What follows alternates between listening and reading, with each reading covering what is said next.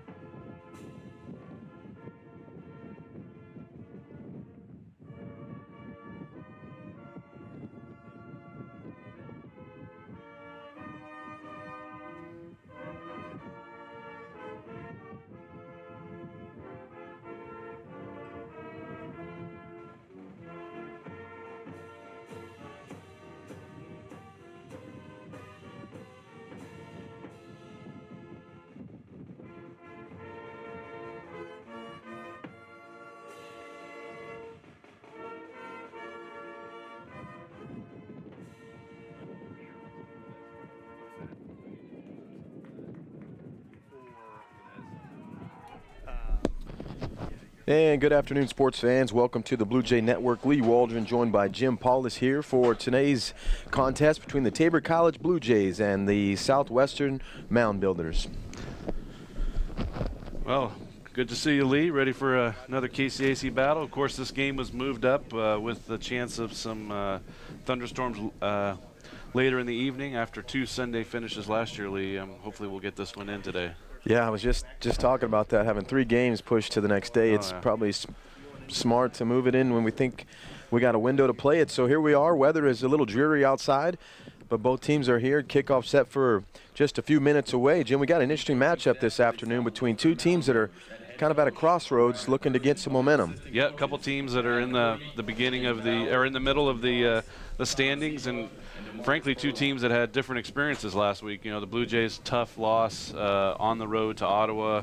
Again, struggled on the offensive side of the ball, and then Southwestern big win at home. They kicked a 50-yard field goal at the as time expired to give Avila their first defeat of the season. And so I'm sure they're up and uh, after that big win last week, and so they're going to be a, a tough foe here for the Blue Jays this afternoon. Yeah, and this is a young team that's uh, headed the right direction. Southwestern has a lot of young recruits, good talented team, and the Blue Jays are talented as well. But they're they're definitely looking for that next step. Uh, this this year's a little unique as far as what what kind of team do we have on both sides of the ball. And uh, with last week's performance, I know that the Jays are quick to want to reset that and get back out and kind of redetermine kind of the outcome of, of the direction they're headed this season. Sure, yeah, and I think the two things probably to think to watch to today is one is the continued development of the Blue Jay offense. You know, young guys and um, you know a lot of freshmen on the line, new players, and then uh, also I think one of the interesting matchups is going to be the running game of the Southwestern uh, Mountain Builders, one of the, you know the best run uh, team in the conference, and also the Blue Jays our run defense is right at the top too. So those two are it's going to be quite the clash, and I think that's going to say a lot about how the game will go today. Yeah, you think about the offensive outpouring for this mound builders, 511 yards. That's that reminds me a lot of us in the Exactly. last few years, and they're doing it on both sides. They're averaging 248 on the ground and then throwing 263. So that's pretty balanced. If you're a no coordinator uh, on on the plus side, you're going. That's what we want. On the defense, you're going. Man, we we got to stop both. We got we got to stop the run. And you got some young guys on here that are putting up some good numbers. Um, you know, we the teams come in with different records. Blue Jays come in right now with the with two and two record, and then Southwestern comes in at four and two. Yeah, this will be a tough, tough battle for sure. And uh, the Mountain Builders are coming on the field, and so are the Blue Jays. And so we're getting close here uh, to to kickoff. And so, yeah, this will be like I said. Both teams are in towards the middle of the standings, and uh, both of these teams want to inch closer towards the top. And so this will be a, a big deal. Uh, this game will say a lot for that. Just about uh, 3:30 left before kickoff here. Jays are just approaching the field, and we are just going to get into a few things. So, what do you think is the big, the biggest uh, need for both teams to, to make sure they can win this game today, Jim? Well, for sure, they uh, the running back for the the the mound, the mound builders, Wyatt. He had 175 yards last week. Uh, he's a guy that's going to be. They're going. I'm sure they're going to key off of.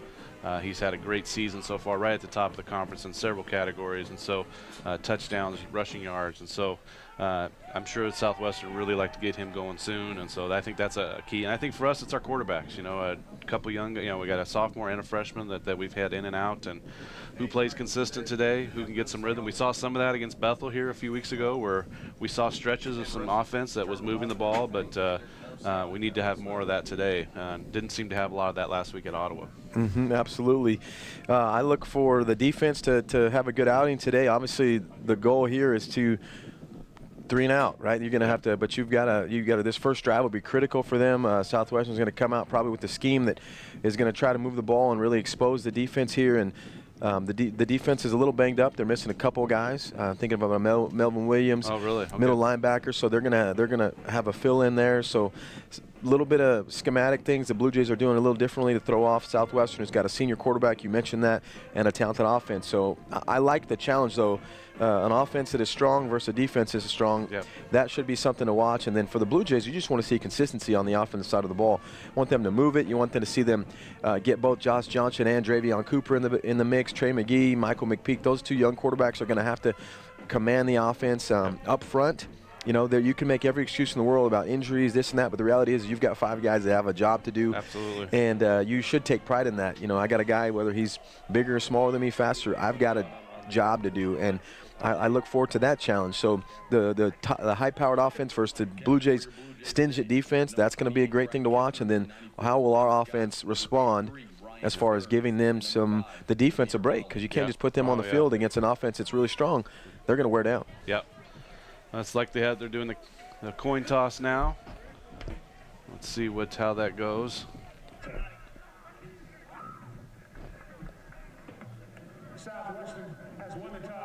Southwestern is To the second half won the toss. They've deferred to the Jays. So we'll get a chance to see those uh, Blue Jay the Blue Jay offense right off the bat. So Captains are shaking hands at the 50-yard line. and We're just minutes away here, just about 30 seconds away from kickoff. All righty.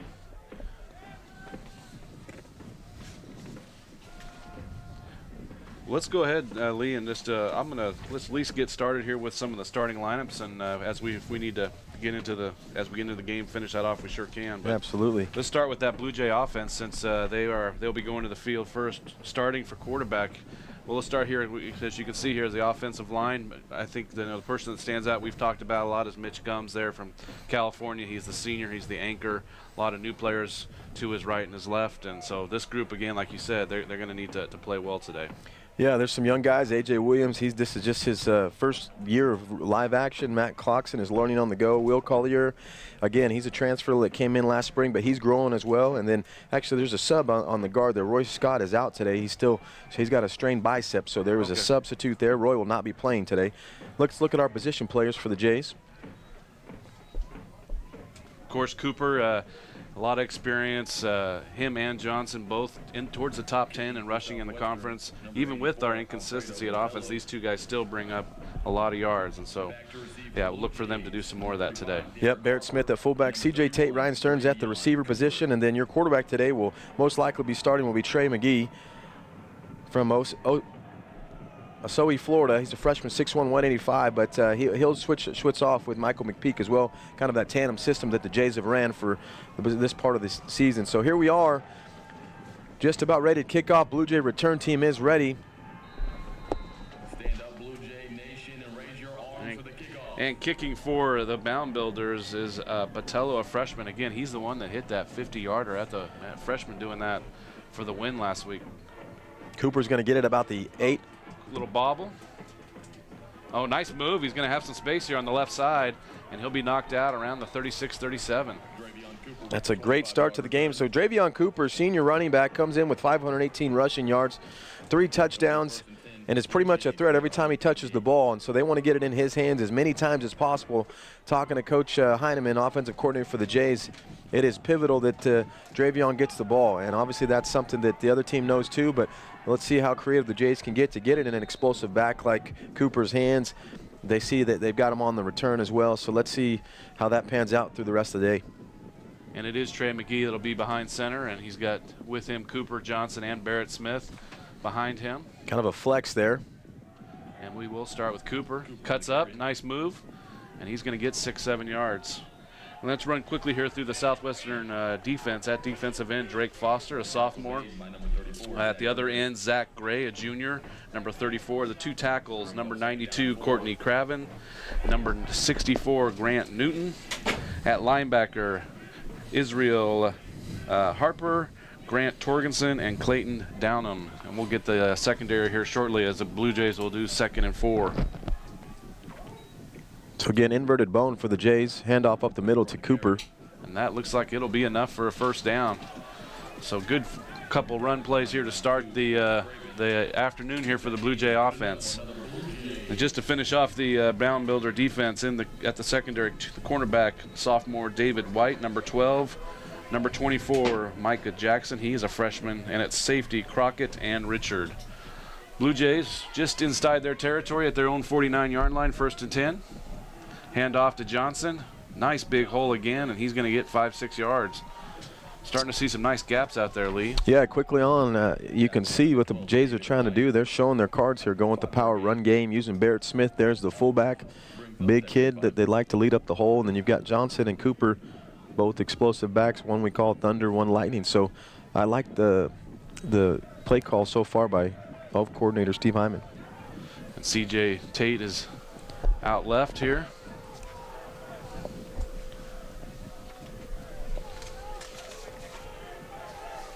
Checking in for the Blue Jays, number six, junior Calvin Tipton.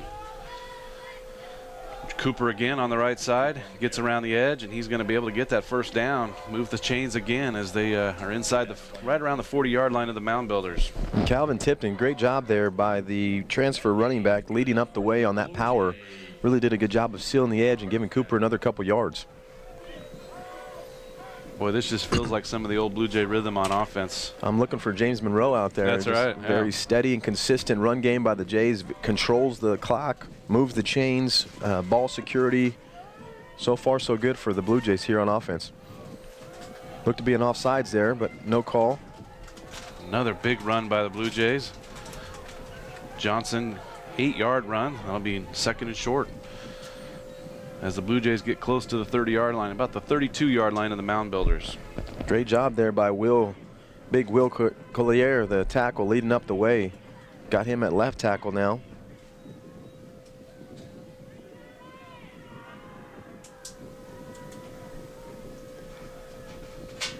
Looks like the Jays have an extra lineman in there. Play action. Key looks over. Oh, right through the hands there.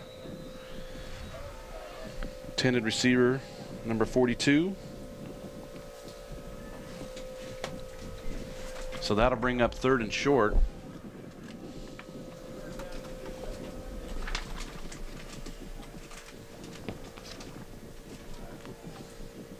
Seth Swidelski was the intended receiver on that pass play. He was wide open. Um, so the Blue Jays will again have third and two just at the 32 yard line. Trey McGee slips, does get the ball to Cooper, but uh, enough of a confusion there that uh, Mound Builders be able to come in and, and stop that short of the first down. Decision time here for the Blue Jays. Yeah, again, a little surprised. It looked like the D tackle jumped, flinched on that snap. I thought you could have called encroachment. So back-to-back times there where the aggressive D line of the Mound Builders uh, gets bailed out with no flag there. So fourth and about three yards. Little bit of wind out here, so I think this is in that area where it seems to make sense to go for fourth and short. So they did lose a yard there, so third and three. Empty backfield. Fly sweep to Cooper. Cuts it back, and he's going to get stopped, and that's a big stop for the Mound Builders. Blue Jays had second and two there, Lee, and unable to to get uh, to move the chains, and that uh, will be a turnover on downs, and we'll see the Blue Jay defense come out. Yeah, Jim, after five run plays in a row that were moving the, the, the sticks easily, getting four, five, six yards a pop, they, they go for the play action, which wasn't a bad call. That's something that they actually had a guy open. So if they complete that, they're, they're moving the chains again. Just tough break, and then they get stalled out two plays later. Go through a few of the offensive starters for Southwestern at quarterback, senior Austin Early, tailback Keyshawn Wyatt. He's again the their has gotten a load of yards this year. Had 170 last week. Tight end number 35, Josh Koppelman, and we'll uh, finish up the skill positions here in a minute as the mound builders start first and 10. Early back, looks deep on the left side, has one, and it's broken up. Number 25 by the Blue Jays. Intended for number 14, Woody Banks there, 6'2 freshman. And Ray Peralt with the breakup there. Nice play by the redshirt freshman. But early going going deep Oh, right away, trying to test out those DBs. So to finish out the uh, starters here for the Mound Builders, wide receiver Woody Banks, number 14, number one Cervantes Gates, and uh, we'll get the offensive line here shortly as the Mound Builders will be second and 10.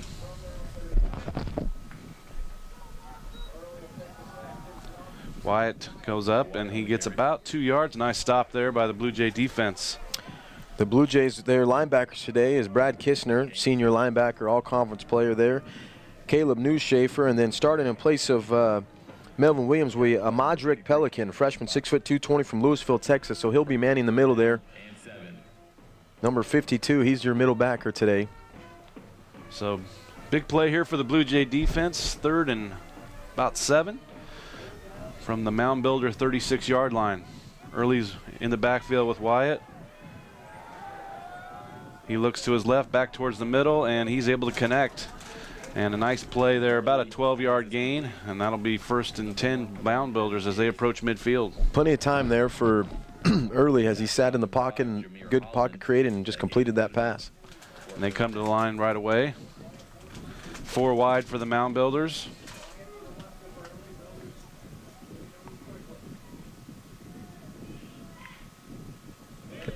Hand off to Wyatt. A couple moves, and he's able to get past, and he's got some room here.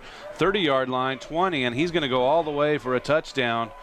Big 53 yard run. No flag, missed tackle there by the D tackle for the Jays, but it will be a quick touchdown for the Mound Builders. So, first couple plays they come out stifling, and after a completion for a first down, Mound Builders strike big. And you now you see the explosiveness of the sophomore from Dallas, Texas, number five, Keyshawn Wyatt, as he continues his stellar play from last week, adding that 50 yards.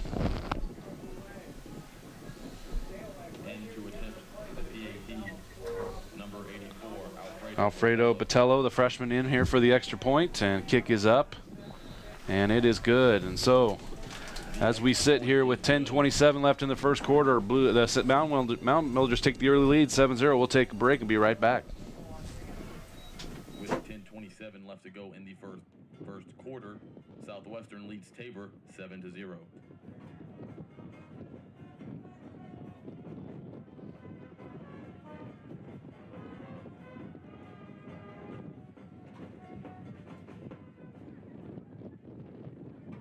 Okay,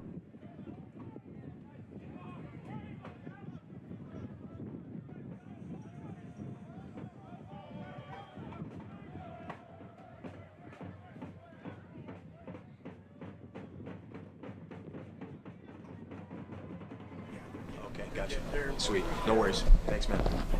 Yeah, they already know about. Oh wow. Why are we talking about for them? Yeah. All right, we're back here Mountain Builders after doing four and out and getting the ball turned over to them. Uh, we're able to go about 70 yards, most of it on a 50-yard run by Keyshawn Wyatt, and they will kick off, taking around the two-yard line. Blue Jays bring it up, come across the whole field, lots of space here. Let's see if he can get that corner all the way to 30. Keith stays on his feet and out of bounds could have been potentially something late, but uh, nice run back by the Blue Jays, about a 40-yard run back. And uh, that'll be first and 10 Blue Jays. Derek Harper with that return, number 35. Looks like they'll place that at the 41-yard line. He took that from the two, and he ran a long way, Lee, across that field, and then Probably uh, ran about 60 yards. yeah. So Blue Jays did move the ball uh, a little bit here that first drive. and Let's see if they can get back some of that momentum. Nice. Looks like we have a tight formation here. Pistol look with McGee and then Cooper behind him. Cooper gets it, trying to get around, looks for some space, and he is gobbled up, and that's only going to be a that's going to be about two yard loss by uh, by Cooper, and that'll bring up second and 12. Tackle made by Looked to be an outside zone play there, and Cooper was just looking for the hole to turn it up and go, and one never showed. Trey McGee still in at quarterback. He gets the, the call in from the sidelines. Let's see if the Blue Jays can answer that early touchdown by the Mound Builders. Just under 10 minutes here in this first quarter. McGee now in the shotgun. Looks to pass it. He's pressured. Able to get to his right, get the little, get some yards, about four or five yards, and that'll bring up third and long, third and seven. Good job there to get just get something. Pick up about four and a half yards. Looked like he was looking over here towards Cooper, but he was picked up rather quickly. Well, they'll, they'll mark him a little farther back, third and eight. Barrett Smith checks out. Both Cooper and Johnson in. CJ Tate out wide to the left.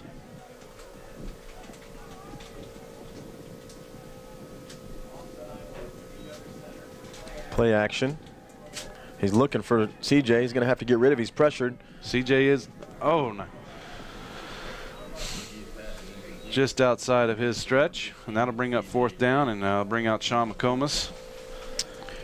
Blue Jays strong punter, which he has an opportunity here to turn the field, which is very important for a game like uh, so far, where you're really wanting to claim a little momentum back and pin the mound builders back as far as you can.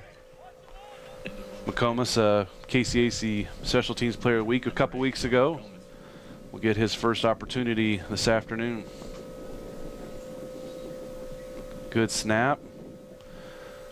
And a low kick that gets a Blue Jay bounce, picked up and uh, quickly brought down by the Blue Jays. And the, the Mound Builders are start on their 31 yard line in their second series of the afternoon. Look like number two there, Edric Gonzalez, backup returner, fielding that one for a couple yards. So you mentioned that big run by the Mound Builders, missed tackle right at the line of scrimmage. Could have been uh, uh, maybe a no gain or a one yard gain, but ended up being over 50. Yeah, that's the way it goes. Big plays will come back to, to get you when you miss tackles. And when you think about it, sometimes they earn it, and sometimes you give them opportunities. And the Jays had a chance to stop the back there just a couple yards past the line of scrimmage. Early again in the shotgun, joined with Wyatt. And uh, three to the left and one to the right, although there's a motion. Early keeps it, runs it off to the left side, has some space, but brought down quickly. Nice uh, tackle. Is that 28? Brad Kistner, senior tackle there. Nice job because uh, it was kind of a quarterback counter. Ran all the, the all the motion was coming to the right here, and the quarterback pulled it back to the left and had a little lane there. But great job by Kistner to make up ground. Two yard gain. So second and eight. Similar look. This time on the right side. There's three, three wide to the right, one to the left. Look for the fly, fakes the fly sweep, going to run option to the left there. Great job by the Jays defending it. Nice job at the point of attack and uh, maybe a yard. Brings up third and long, third and seven. Let's see if the Blue Jays can uh, get this ball back right away. So Blue Jays playing a little bit of uh, secondary games. They've got Nate Beatty walked up on a receiver on that trips look with Devine. And then Kistner walked out now on the inside guy. So Coach Gardner's playing some chess here, trying to get a get a stop. Jameer Holland, the only safety back deep, playing center field. A little roll to the left. Early looks over. And that is Picked. picked off. Number Caleb 20 Devine. Caleb Devine, the junior from Altadena, California, with the pick. Great job. Uh, roll to the right. They were looking for that deep out. Would love to show you that interception again, but great play by number 27, Caleb Devine, to read the route and come, and, come underneath and make the play. Yeah, early was locked on to that uh, receiver the whole play. Let's take a look Here right go. here. Nice break on the ball. Beautiful play by Caleb Devine right on the Blue Jays sideline. So Blue Jays take over in Mound Builder territory on the 44 yard line. 7-0 Southwestern, 7.47 to go. Hand off to Cooper's got a nice lane on the right side, and that's going to be a big 10 yard run. First down, Blue Jays. Really love that quick hitter. Yeah, there's been several plays here already where Cooper's gotten a ton of space. First that- down, though. That gets the Blue Jays to the 34 yard line. A little bit different look. Three wide receivers out. Handoff again to Cooper. He cuts back, gets a little bit of, of a broken play, but able to get a couple yards. Good job by Dravion Cooper. It was offset I, power to the right, and he cuts it back and picks up just a couple yards, but more than what was showing him. So second and nine for the Blue Jays.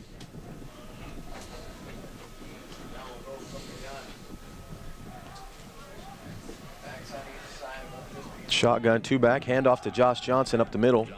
Nice quick move, and that'll bring up a third and short. Just outside the 25 yard line. At this pace, Jim, I wouldn't be disappointed if we hand the ball off 60 times today. Oh, yeah, they're getting a lot of forward momentum. I mean, you're getting six, seven, eight yards of carry right up the middle, and then the outside is going to open up. So let's let's just hold on to that ball and see how uh, McGee leads this offense. Gums at center. Johnson and Cooper behind McGee. It's going to be Cooper, but he is taken down. He's with a little bit of a loss. That'll bring up, looks like fourth and five. Good play there by the Mound Builder defense. Yeah, able to get across and push that offensive line back. Let's see what the call is here for the Blue Jays. And I did get that number. It's number 62, Mike Marshall out of Chico, California, starting in place of Roy Scott. Marshall plays um, center as well, but they've got him bumped over to the right guard position today. So Blue Jays are going to go for it. They have him marked about fourth and four on the 29 yard line. McGee drops back. Some pressure and gets it off and It's caught. He catches it. Johnson makes a catch, but falls down about a yard short. So McGee puts that on him. He's probably running for another 20 yards. Yeah, they had him. He was open. And the Mound Builders again, right around the same area, take over on downs as they still lead 7 0 with 5.31 left here in the first quarter. Blue Jays defense had a big stop on the last possession. Caleb Devine, the junior from California, with an interception. Let's see if they can continue that success here.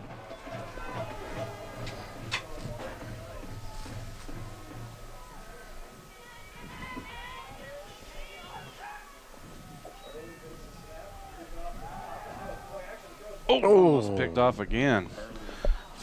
Went for a quick uh, kind of a Y pop route there. Faked the handoff to the fullback and looking for the seam on the left side and just missed an interception there. Just uh, intended receiver was El Edric Gonzalez, a junior. Just out of his reach, and Beatty is almost there to make the play. And Peralt, if he's coming in, he might have had an interception too. So Let's see if the Mound Builders go back to Wyatt here. They'll pitch off to Wyatt. He gets around the, the end, and he's able to make move it upfield for a first down. No one over here on this side of the field. Kistner had the pitch man there and just missed him. So that Number- moves moves the chains for the Mound Builders. They get to the 41 yard line. Keyshawn Wyatt, who's got great speed, got that pitch and just took it the rest of the way to move the chains.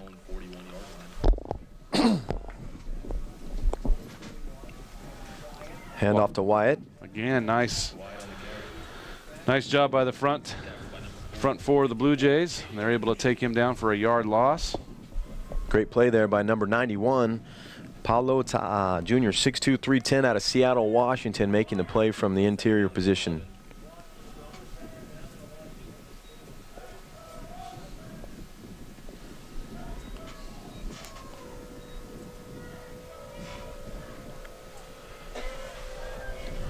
Second 11. Early with a couple backs with him. Three wide receivers. Handoff again to Wyatt. And he is taken down quickly again. Nice job. That plays by number 51, Josh Lawasi, six foot two, 45, junior from East Palo Alto, California. And Josh, I believe, made both those plays. Josh is a guy that they brought in as a DN and have since moved him to the interior, looking to expose his speed on the inside. So great job by Josh. Good to see him flying around for the Blue Jay defense. So got the, the Blue Jay defense in a nice place here, third and nine. Keelan Ellison, Ethan Straw, Tanner Hettenbaugh, and Ben Scott, your 4D lineman currently.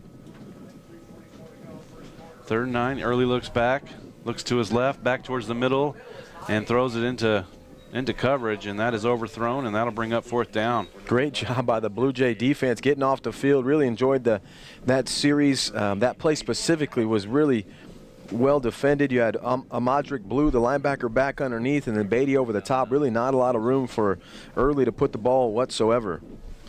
So that'll bring up the punting unit for the, the Mound Builders. Punting for for them, number four, Christian Gordon, senior from Yukon, Oklahoma. And Nate Beatty will be back to receive the punt. Low kicked. That's going to roll. Nice roll for the Mound Builders. It's going to get inside the 10.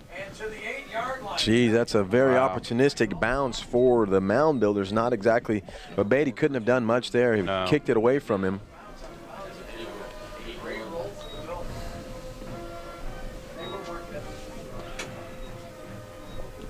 So 324 left. Blue Jays down 7-0. Really the uh, the only uh, offensive uh, replays or the plays of the game is just that one run.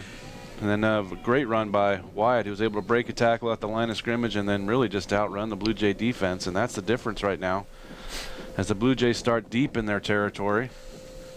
McGee's still at quarterback. And a short run by the Blue Jays.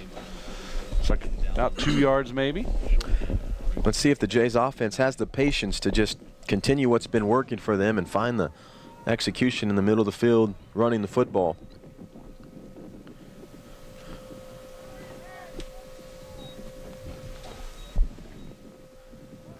Trey McKee still in as he gives some directions to the line of scrimmage and to his skill position players. He's under center. Quick handoff.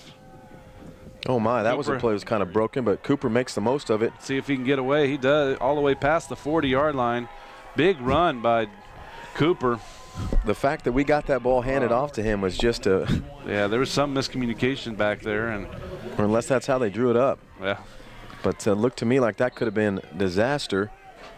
It was supposed to be a fake and a counter. Cooper gets it and does the rest. He's so special in the open field. 41 yard line. Blue Jays take over, have the ball now. First down after three plays. Are we messing with something? I mean, slowing something down? Like at the end of the plays, a lot of times it's like jittery. McKee looking deep. Oh, Ooh. right through the hands of CJ Tate. He had uh, made a nice adjustment from his route to, to even make a play on that, but unable to bring it in. So second down, that was a good play call there.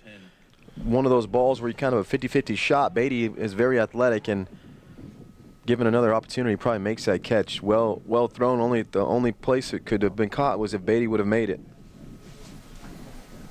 So second and 10 for the Blue Jays. Hand off to Johnson. He looks to go to the right. He's brought down quickly, and that'll bring up third and long.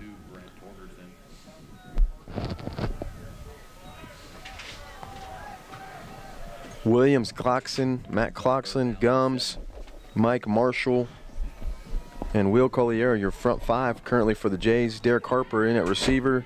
Nate Beatty, Ryan Stern switches over to the left side with Cooper out wide as well. Trips open look for the Jays. Well, third and six. Well, about third and seven, actually, on the 44 yard line of the Blue Jays. Blake Burnett in at receiver, excuse me, at the bottom of your screen. Oh, could have easily been picked off. McKee had looked left first, went back to the right side, and uh, nothing there, and that'll be bring up fourth down as McComas comes out for the punt. Yeah, he did a, he did a, he was trying to look look him off to the left, and then, but the DB over on the right side was just playing man straight up, and very easily could have picked that off, but uh, did not, fortunately for the Jays, and now they'll punt. So see if the, the Blue Jays can still keep the field good field position here as McComas Sets up on our 30. Some pressure. Hits a high one. Fair catch. And that'll be taken in right around the 28 yard line of the Mound Builders. We're going to take a quick short break here. 120 left. Mound Builders still on top. 7 0. Southwestern will take over first and 10 from their own 29 yard line.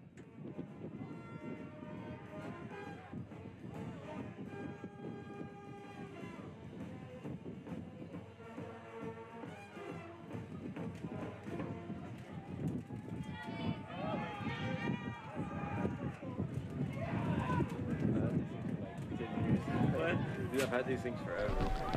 All right, Mound Builders take over. First and 10 for them on the, uh, it's like around the 28 yard line. Kistner showing blitz. Early pulls back. Oh, big hit there by Jameer Hall, and again. That's bi- Mound Builders going for that uh, quick pop to the to the the quick the quick fade, the quick nine route straight up the seam, the go route, and Jameer Holland just showed up right on the scene and made a great hit. Pass intended for number one Gates, the senior. He was open, uh, unable to gather it in, and as he juggled it, uh, Holland came in to clean up that play, and that'll bring up second and 10. Early get, Wyatt or on the carry. Wyatt gets it, runs into some traffic, and he'll be brought down quickly. Blue Jay defense, again, except for that one big run, they've done a great job on Wyatt, been able to keep him uh, contained uh, inside right around that box, and so uh, hopefully that'll continue for the for the Blue Jay defense. Yeah, so far just a missed tackle is the key play so far in this outcome early on. Blue Jay defense is really showing the showing up to the test against a very powerful coming into this game offense for the Mound Builders. So third and nine as the first quarter gets close to winding down here. Early get rolls to the right, and I think that'll be offsides on the Blue Jays. I, there's been a few of those both sides, and I think finally they've decided to throw the flag on that, as both defensive lines have been a little jumpy. All they're doing. Well, now they're trying to decide is it a false start or not. Well, That would be advantageous for the Jays, as it did look like the D lineman jumped. But if he's enticed, hey, let's take a look here. You know, they're all across football. Well- they're they're letting the quarterbacks do that clap. Yeah, And, uh, 61, the left tackle there flinches just a bit there, as it, Keelan Ellison was coming off the right side.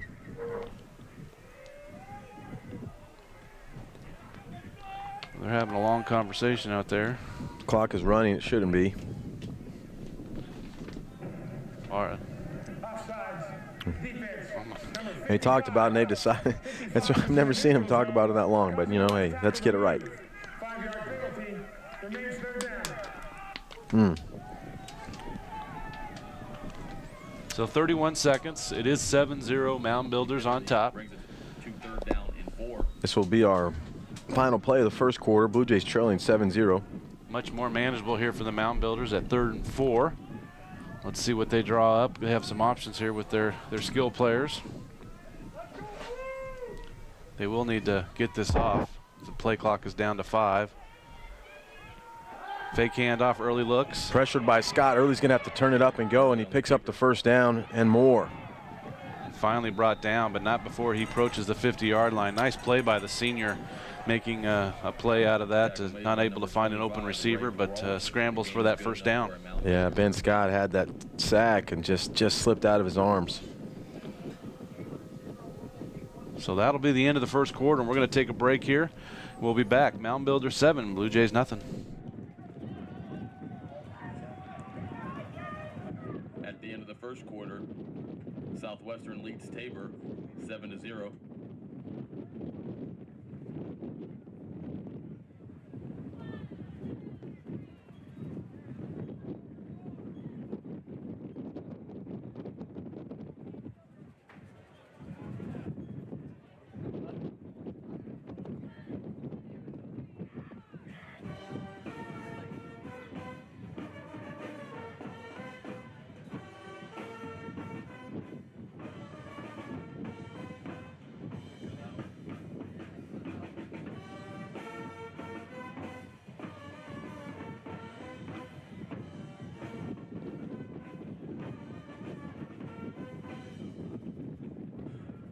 Joining us today are special guests are staff members from the MB Foundation. They are seated in the center section and in the Blue Jay suite. We want to recognize them and thank them for their continued work in encouraging biblical principles of financial stewardship and generosity, resulting in the gathering, management, and distribution of financial resources for Christ and His kingdom. Thank you, members of the MB Foundation. All right, first and 10 for the Mound Builders from the 47 yard line. Early's going to hand off up the middle. Wyatt on the carry. At the line of scrimmage, maybe just about a half a yard gain there for the running back for the Mound Builders. Keyshawn Wyatt up the middle, 5'5", 160, sophomore out of Dallas, Texas.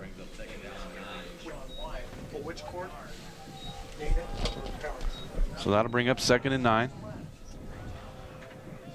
Early's in the gun, has Wyatt with him, two wides on both sides.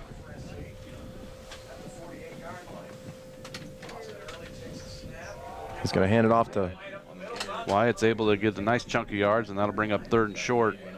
They'll mark that right about the 45 yard line, third and two.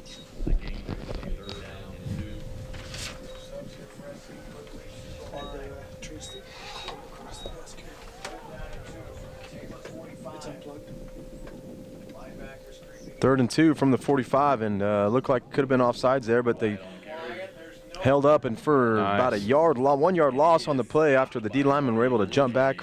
No offsides, and it'll be a fourth down for the mound builders. So it looks like they'll bring out their punting unit.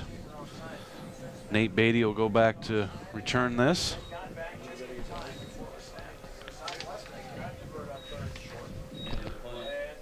Good football game both ways, offensively and defensively. I love the uh, the, the chess match being played between both teams. Punting for the Mound Builders, number 45, Dalton Rogers, freshman from Wichita, Kansas. He's set up right around the 40. He looks to Low line driver. That's uh, going to get a nice roll. And that again will get inside the 20 yard line where the Blue Jays will take over. Better field position for the Jays this time around, about the 19 yard line, opposed to their own four last time they touched the ball. So this is a 7 0 deficit for the Jays as they have found a lot of rhythm running the football. Yeah, you know, this reminds me of the Bethel game, Lee, where, you know, there's just been patches of this and then then they kind of stall out and have to punt the ball. But hopefully we can string together, instead of just two or three plays, six or seven plays and get the ball moved down the field. Yeah, definitely. At this point, with giving up a big play, you're there's a little pressure on the Jays, but we just want to see them continue to move the chains and find progression on the offensive side. Here goes Cooper around the right side. Oh, He's got a lot of running room. He's going to get to the 45, 49 yard line, it appears. Another big run for Dravion Cooper, senior running back who's well on his way to another 1,000 yard season as he's entering today was at 5'11. So far is on the verge of almost getting to 100, you would imagine, with some big runs so far. So that gets the Blue Jays into Mound Builders territory as they're at their 48 yard line. the southwestern 48 yard line. Coach Hyman had no reservations talking about the game plan. Should be uh, offsides there on the mound builders. Oh, they're going to call. in and let that play run as it was already snapped. Should be a five-yard runoff moving forward for the Jays. But conversation with Coach Hyman this week, he said it's no secret we got to get the ball in Dravion's hands as best we can because he is our most explosive weapon. That's not a knock on anybody else on the team, but sometimes you just have a guy that's just flat out better with the football. Yeah, he's a guy that's been in this league for several years. He knows he's uh, run a lot of yards on this field, so I have no problem with them giving him the ball. So that'll bring up first and five after the, the five yards for the offsides. Again, Lee, I was usually they let that play that we get that free play on that. I'm not sure why they called that dead, but uh, we'll still take the five yards. You never know. Outside zone to the left. Cooper's going to, Johnson Oh, leads up. Oh, and there he goes. He's off to the left. One man to beat. And he is taken down inside the five yard line. Two big runs by Cooper this drive as the Blue Jays are set up first and goal. Very impressed with Josh Johnson. Unselfishly leading up the hole, making a big block for Dravion Cooper, who just is so hard to bring down in the open field. Let's take a look at that run again. See, Johnson leads up the way. Cooper follows him up, and Johnson gives gives a little bit of a push, and then here goes Cooper does the rest, and just no pursuit for the Mound Builders. Big run for Cooper. So we're at the four yard line, first and goal. Barrett Smith leads the way for Good job there. That was an outside power. Cooper with the touchdown. So that was uh, that drive was Cooper as he takes the Blue Jays the length of the field, two big runs, and then he punches it in. And the Blue Jays are an extra point away from tying this game. Great drive there. Love the block by the fullback, Barrett Smith, number 40, leading the way, kicking his man out, and it doesn't take much room for Cooper to be able to slide on in. Number four, Austin Smith, sophomore kicker for the Jays, looks to tie this game up. The kick is up, and we are tied. So with 11.57 left, we're going to take a short break, and we'll come back 7-7. With 11.57 to, left to go in the second quarter, the score between Tabor and Southwestern is tied at 7.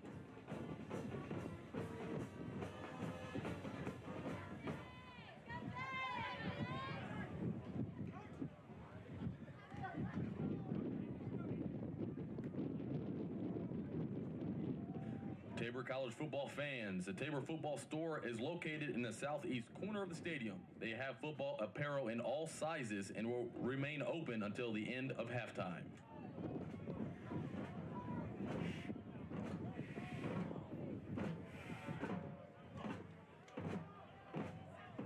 Kicking off for Tabor, number four. All right, we're back here. New ball game, 7-7.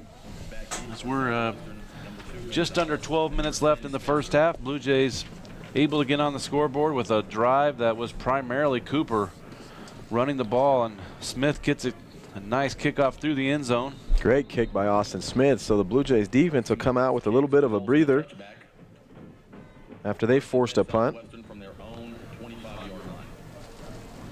Another score in the conference. Uh, Friends on top of Bethany in the second quarter, 14 to 13.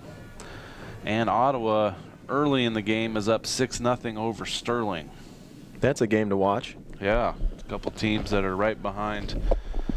Seems to be Kansas Wesleyan and everyone else right now. As, uh, Kansas Wesleyan averaging 70 points a game. And completely balanced offense, too. We won't even talk about them yet. So let's see how the Mound Builders respond. They have a three wide receivers out. Early gets it, fake hands off to Wyatt, throws it off to the right side, but taken down real quickly. That'll bring a, sh- a short gain by the Mound Builders. That Kistner with the, the tackle. Tight end there. The wide receiver, Drew Delhite, catches that one. Brad Kistner, the senior from Oak Hills, California, with the nice uh, coverage there on the, the right side of the field. Second and seven. Early brings a man in motion. Wyatt has it. Makes one person miss, but taken down again pretty quickly. Third and short. He's able to get some about three yards. So we'll see if the Blue Jays can get the ball back in the offensive hands after this play. Again, aside from one play, Jim, very impressed with the Blue Jays front seven, kind of containing early. Excuse me, Wyatt, who's been an explosive back in the conference so far. Yeah, not a lot of room there in the middle of the field. 7-7 is the score. 10:48 to go in the second quarter. Blue Jays just answered a, with a big touchdown by Dravion Cooper. Handoff to no, excuse me. Early fakes it. And he is taken down. Um, he's taken down, but he was able to get it away, but incomplete pass, and that'll bring fourth down up. And nice quick three and out by the Blue Jay defense. Keep that Blue Jay momentum. Pressured there by Brad Kistner, senior linebacker, that was quick to pursue the senior quarterback. So back-to-back forced punts by the Blue Jay defense has really, really got the momentum switched over. Rogers back to punt again. He's had some nice low line drivers that have gotten some great bounces for him. I'd like to see Beatty get a chance to get the ball in his hands as he's been pretty explosive. This one hangs up a little bit. Takes a Blue Jay bounce. And it'll be at the. You can't do that. It will be at the 40. Should Blue Jays will have the ball. They're going to spot it at the 50. Should be the 49. Those of you watching, you are not allowed to bat the football. So the flag did come out.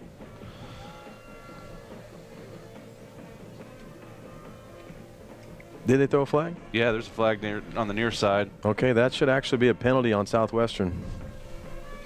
I know definitely if the offensive guy bats the ball out of bounds or somewhere or the other, it's a penalty. So should wouldn't be surprised if they move the ball upwards for the Jays here another 10 yards. They're going to chat about it a bit. That was a nice swat, though. it's pretty impressive, yeah, on on the run. We'll see it again here. Yep, you just can't really do that. Illegal batting, punting team, number 32. Bats the ball back toward his own end zone. Five-yard penalty. Five yard penalty. Shucks, that doesn't. I feel like that's like a slap on the wrist, man. Like you should feel that. I think if the referees talk for that long, it's got to be more than five yards. 10 yards at Yeah. least. So opportunistic nonetheless. Blue Jays take over on the 45 yard line. First down. Handoff is to Cooper. He's taken down quickly. Cooper for sure is approaching the 100 yard mark. Picked up his fourth touchdown on the year so far. That'll bring up, looks like second and seven. Trey McKee has stayed in.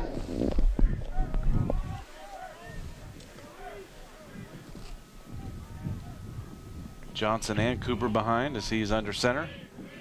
Tate in motion up left to right. Play action. Got some pressure. McKee Gets rid of it. But he's outside of the pocket, so no penalty. Brings up third down. So Jim, it's interesting to see now if you think uh, about the strategy of the mound builders. They're they're now starting to stack the line of scrimmage. They're running a five-man line with three linebackers, so just the two corners and one safety. So the big play is potentially there. Looked like the Jays were trying to expose that a little bit, but they're definitely forcing the hand, saying we've got to stop the run. Yeah, let's see if uh, what kind of uh, adjustments are made both ways here. Get the call in from the sideline. Third and seven. Timeout. So with 9:30 left, uh, Blue Jays will take a timeout here at third down. We will take a timeout as well. We'll be right back.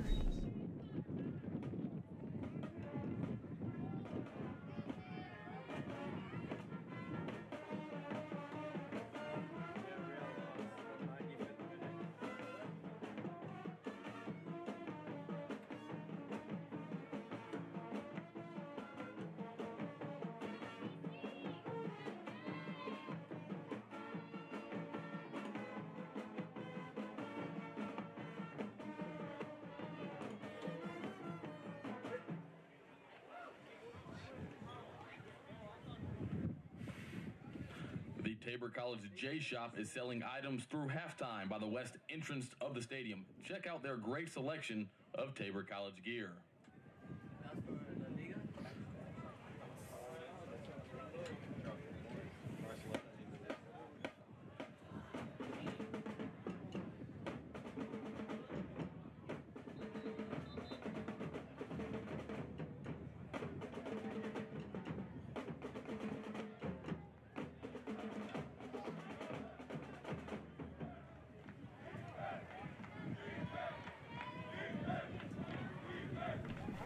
Right, we're back here. 9:30 left in the first half. Blue Jays into Mound Builders territory, but are facing a third and seven. After the timeout, let's see what the Blue Jays drew up. Three wide to the left, one to the right. McKee looks, steps up. He's got some pressure. Is able to get, uh, and looks like he's going to go down, and that's going to be about a four-yard loss with the sack. Nice pursuit by the the front four there of the Mound Builders. Yeah, great job there. I thought for a minute he was going to get outside of that pursuit and get outside and maybe have a chance to complete a pass, but nothing doing there. Well, let's see how what Sean McCombs can do here. He's got the wind. He'll be set up right around the 35-yard line. Let's see if we can get this hung up uh, and maybe even inside the 10-yard line. keep that good field position for the Blue Jays. Kick Great. is up. And he's let's see how what kind of bounce we get. And that's going to be a nice Blue Jay bounce, and that's Oh, going to be goodness. inside the five-yard line. That's Nice. clinic tape. What a punt by and a bounce from McComas there. Puts it at the three-yard line. The coffin corner, they they call it. Nice job. Definitely want to give props to number 41, Patrick Leonard, the freshman long snapper from, let me see if I can get this one right, Murfree, Murfreesboro, Tennessee. That's exactly how you pronounce it. I think they got good Yes, cheese yeah. curds there. That's what I heard. But uh, they, the coaches do rave, and so do the players about how talented the freshman long snapper is, and that's a position that probably gets it doesn't get enough attention, or at least praise. Yeah, it'd be great if you have him here for four years doing that. So Early is camped out in his own end zone, first and 10 for the Mound Builders. Hands off. Oh, fakes it. Nice quick pass, and that'll get some little bit of room for the Mound Builders as they able to get eight yards past to number one Gates. Carfontes Gates, senior, 5'10", 180 from Garland, Texas, with the reception. Nice play by the senior Early, getting that ball out quickly, and that'll bring up second and short. Again, hands up, going, trying to go deep here. Has a man, and that unable to bring it in. Intended receiver. Tanner Spencer, number 10, from Ark City, Kansas. Boy, he had his hands around that, and just not able to bring it in. Little tiny bit underthrown, but uh, probably sh- he'll probably tell you he should have had that, and that'll bring up third and short. There's an old saying, but you know how it goes. Yeah. So let's see if uh, I imagine Wyatt might get a chance to touch the ball here. Hand off to Wyatt. Great job there by the Blue Jays D line, but I think that will be enough. Let's see. well, they they're, spot they're, it. the the Oh. line judge over here, they're not giving it to him. No, yeah, I think you're right. Yeah. So that's going to be short. Wow. Nice play by the Blue Jay defense after that quick hitter uh, on first down. Mound Builders unable to gain any other traction, and so they'll bring out their punting unit. Great job by the interior D line. I, I think everybody on that sideline assumed that that was a given one yard. And the, the good penetration by the D line stifled that third down attempt and forces a punt. Good position here for the Blue Jays. They have the wind at their at their back, so Beatty has a chance to get this. Let's see. Low kick off to the left. A little bit of a mound, mound builder bounce, but not too far, and that'll still stay in mound builder territory as the Blue Jays will take over at the 42. So great field position for the Blue Jay offense. Yeah, Blue Jays really need to take advantage of this here as we're getting close to halftime. Set a little over seven minutes, and like to see them punch this in and, and take a 14-7 lead.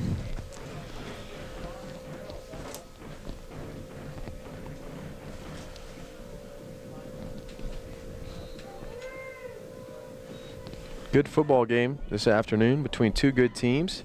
We do have a change of quarterback here as the sophomore number 12 Michael McPeak is in. First action for him. He's under center. Hands it off to Johnson. Johnson trying to get around that edge. It gets some space and he's able to get it to the marker. And uh, looks like about a 12, 13 yard gain. Can't be brought down. He stays on his feet all the way to the sideline there. So great job there by Josh Johnson, junior from Fontana, California. So again, Michael McPeak is a sophomore from Aurora, Colorado. He's gotten action just on in, every game. Mm-hmm. So- a little later than usual here. Yeah, yeah. But no surprise that he's getting some action, some reps. I don't think they've solidified the number one. No. They may rotate these guys throughout the whole season. You know, So- fall start there on the Jays offensive line. False start, offense, number 66, five-yard penalty, it remains first down. So that'll push the Blue Jays back, and they'll be first and 15 at the 36-yard line. One thing to note on a positive side is as young and kind of an inexperienced as this offensive line is for the Blue Jays, they haven't been penalized a whole lot. No, I think yeah, that is that is correct. You haven't seen much of that, whether it holds or offsides or um, movement. McPeak rolls out to his right, looking for someone. And uh, that, yeah, there's. I, I thought that defender got there just a tad early. A little bit late on the flag, but I believe the only call here is going to be pass interference. I think the only question may have been whether it was catchable on the, if it was too far. But I think that they're going to call that.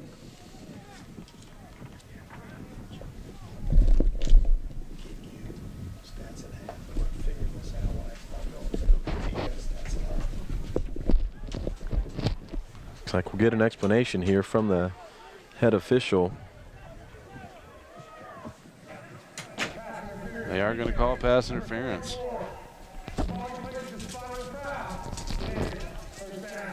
So that'll move the Blue Jays up a bit, but more importantly, give them a first fresh set of downs. Let's see, they'll mark that at the what's that 28 yard line. I'm a little surprised. He said spot of the foul. I was pretty sure college is still a 10 yard penalty. Either way, it's a first down. Yeah, I think it's be close either way. So getting close to that red zone. Cooper and Johnson in the backfield. Johnson gets it right up the middle. Falls forward for about, uh, well, looks like five, six yards. So nice run by, nice first down run by Johnson.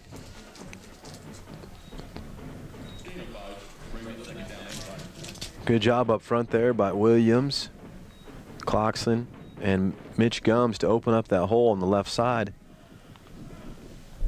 Really getting some good blocks on this coming into this game. Really aggressive and talented D line for the Mound Builders. So second and five for the Blue Jays. Pitch off to Johnson. He's trying to get around the corner. Uh, and looks like he's just going to be able to fight maybe to back to the line of scrimmage. And that'll bring up third down. Trying to get him outside, outside the numbers, but great job pursuing that play from the Mound builder secondary and the linebacker coming up. And we're lucky to kind of get back to where we started there. Third and about seven yards, uh, six yards actually. CJ Tate, your lone receiver at the bottom of the screen, played pretty much man-to-man here. So third and six. Cooper, and he's taken down real quickly, and that'll bring up fourth down. And I'm, I'm guessing you're going to see Smith come out. And yep. See if the Blue Jays can take the lead here with a field goal.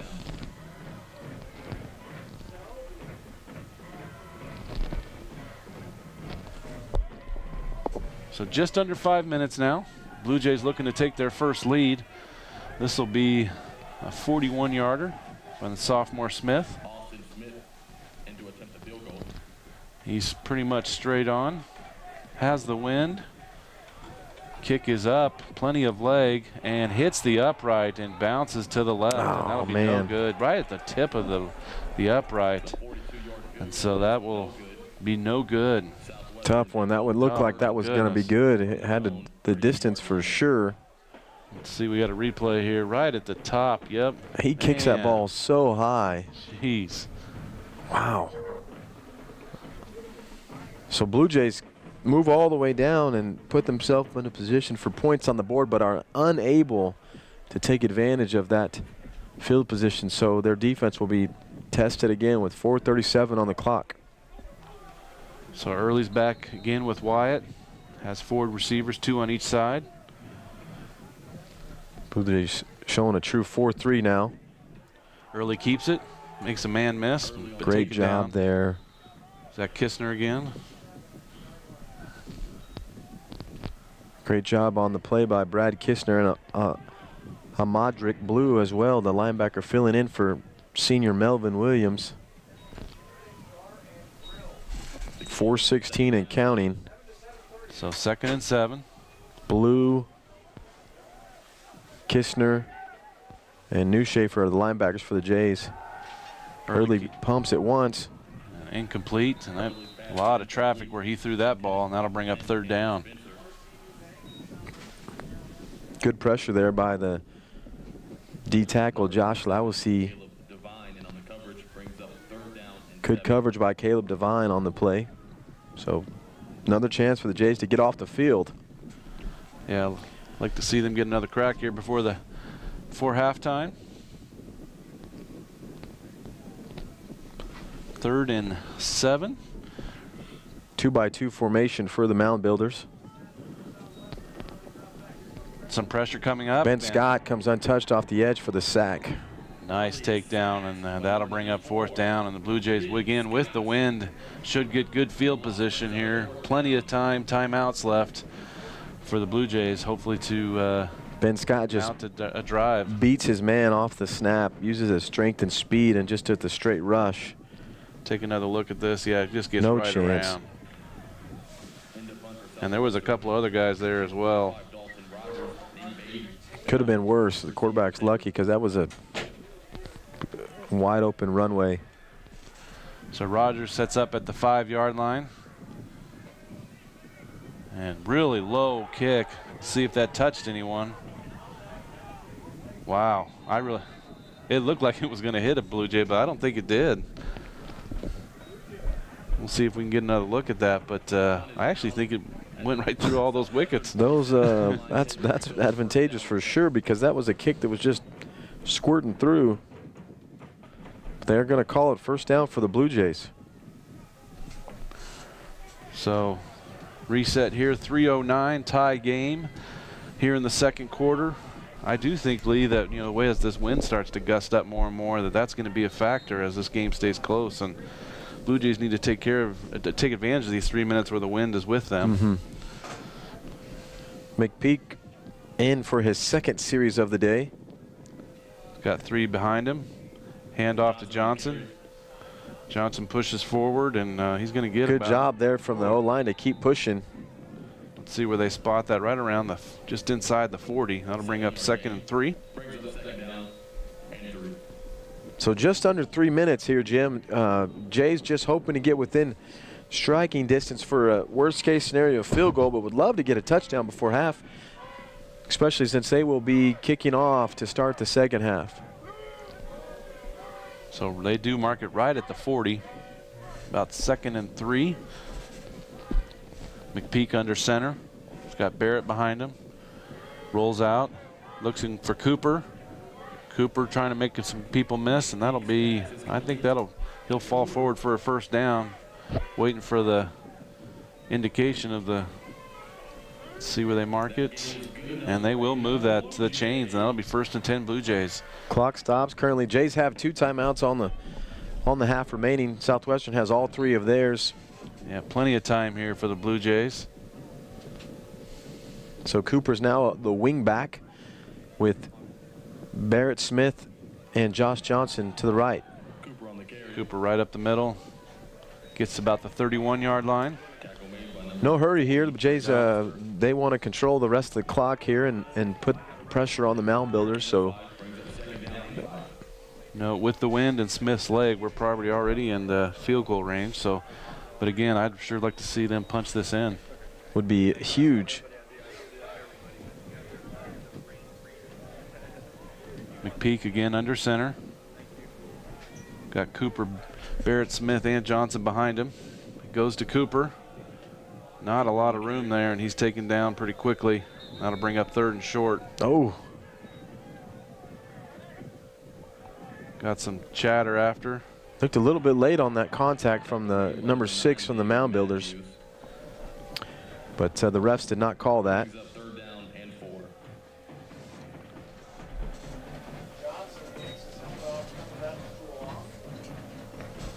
That Clock was number six, Israel Harper.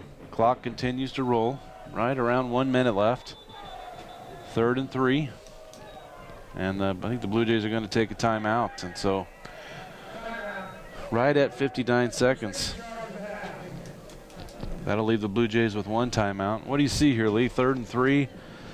Um, do you think uh, they'll do a little play action, or do you think they'll just still kind of go with Cooper? And well, I guess Johnson's not in right now, but maybe Cooper and Yeah, the thing about it is, Jim, I think uh, Southwestern's going to be keying on that pretty heavily. So I personally wouldn't mind a little rollout to the left.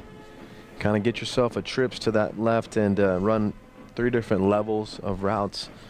A little out route, maybe a little sit down, and just a little comeback far out there. Something to give give some layers for McPeak to, to find somebody, and then obviously, worst case, he has to throw it away, and, uh, and you attempt another field goal. Yeah. Uh, but um, I think that Southwestern will be keen on um, Dravion Cooper as he has been the one person that continuously has shown them uh, angst in the first half. So we'll see what uh, Coach Hyman and Coach Gardner draw up here for this big third down. You'd love to move the chains and give your offense a chance to put one in the zone. Let's see what the package is. They do have Johnson back in.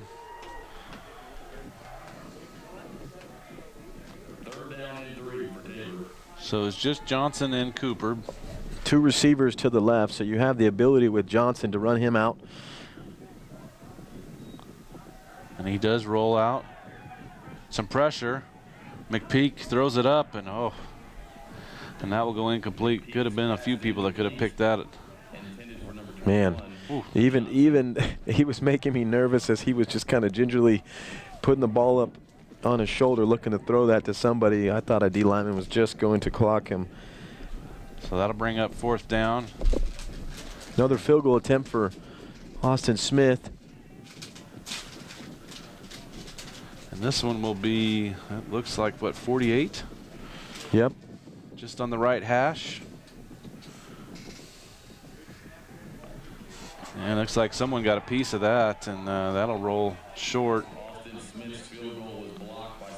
So first he hits the left upright, and this one was blocked, and uh, the Mound Builders will take over here with 45 seconds. Boy, Lee, two two times Blue Jays are in in Mound Builder territory, not quite in the red zone, but both times right around the 30-yard line, and just stalled drives and missed field goals, and they've come away empty-handed with both of those two drives. Yeah, they- they're going to have to find another another option because uh, they'll be able to get the ball into into Dravion's hands and, and Josh Johnson even even showing signs of explosiveness, but the Jays are going to have to find something else to to keep the Mound Builder defense honest. So Mound Builders do have three timeouts with 45 seconds left. Let's see what they do. Early rolls, look deep up the middle, and that's picked, Picked off. off. Underthrown, and that's picked off by number 25. Ray- Raymond Ray Peralt. Peralt. He's had another couple other good plays. The redshirt freshman from El Cajon, California. And just like that, Blue Jays have the ball again. Really unimpressed with that throw. Uh, He kind of underthrew it, and Raymond just stepped underneath it with great coverage. just stepped right in front of the receiver and and he's taken down right away. And so let's see if uh, you know Blue Jays get a little more life here in the second quarter. 38 seconds left. They do have that one timeout. Yep. Early had plenty of time, so he wasn't really pressured. He stepped up uh, off that little short rollout and just threw across his body. And maybe the wind factored in a little bit there with his velocity, but still, just Peralt was at the right spot and play, playing that defended um, really well.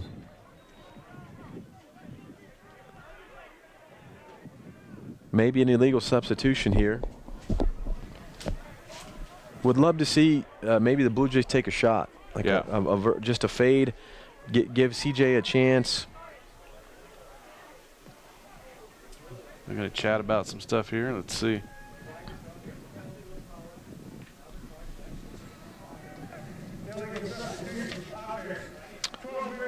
So, five-yard penalty for the Jays, flagged for illegal substitution. So that puts them right at midfield. I'm with you, Lee. I like to see uh, we got Michael McPeak in the shotgun. Three wide receivers here on the right, one to the left. Let's let's air one out. Wide open is Derek Harper. And that's going to get him all the way towards the 30-yard line.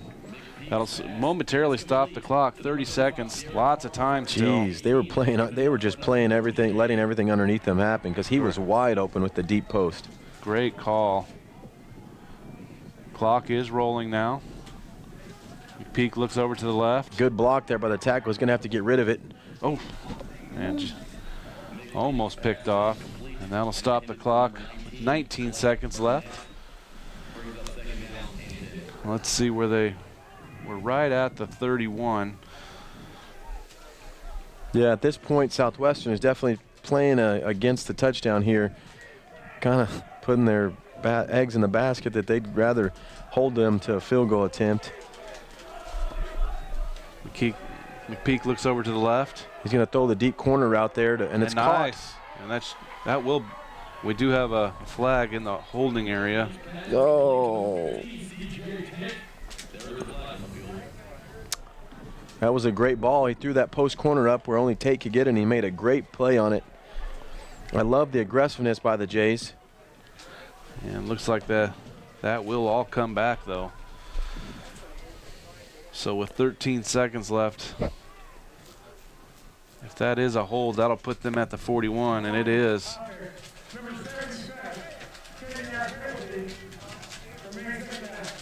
So that pushes, not only takes away the big game, but also pushes the Blue Jays out of field goal range.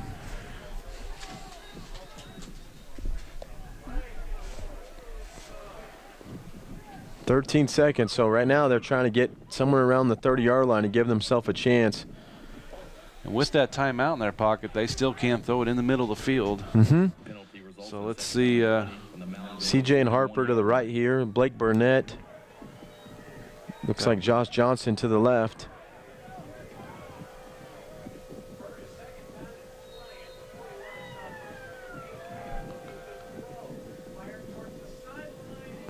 And Oh, almost picked off. intended for number 80, seven seconds now. Derek Harper.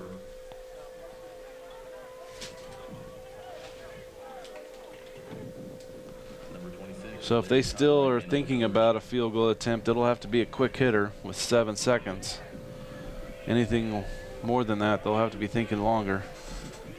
Yeah, at this play, this yeah, third and long. They're, they've they got a quick one, maybe a quick hitter. That's what it is. Quick hitter out of bounds. Peaks pass is complete. And they will roll, roll out Smith for his third attempt here in this quarter. Well, especially with the win, Yeah, and they, you know, the he's got the leg. well, he had that 44 what yarder. He hit the top of the post. So I mean, Yeah. that tells you it's not about uh, distance here for him. It's more about blocking up front and uh, accuracy. So this will officially be a 52 yarder. Does have a, the gust of wind behind him. Kick is up. And that is Good. Oh. oh my. I think the. Yes. Oh wow! Gave a signal for Took my hopes away. it What's was up with good, and then? Nice attempt there by Austin Smith. brought it back. So three missed field goals for sophomore Austin Smith, two which were great looks. Let's just take a quick replay here. Oh, oh, okay, yeah. yep. It's kind of like a foul ball. If you if the if the, you lose sight of the ball, you know it's good. But that was definitely the right call. I think he just wanted to call it good. Yeah, that's right. So All we're right. going to take a short break. 20 minutes on the clock here. Halftime score is seven to seven. Blue Jays all tied up with the Mound Builders.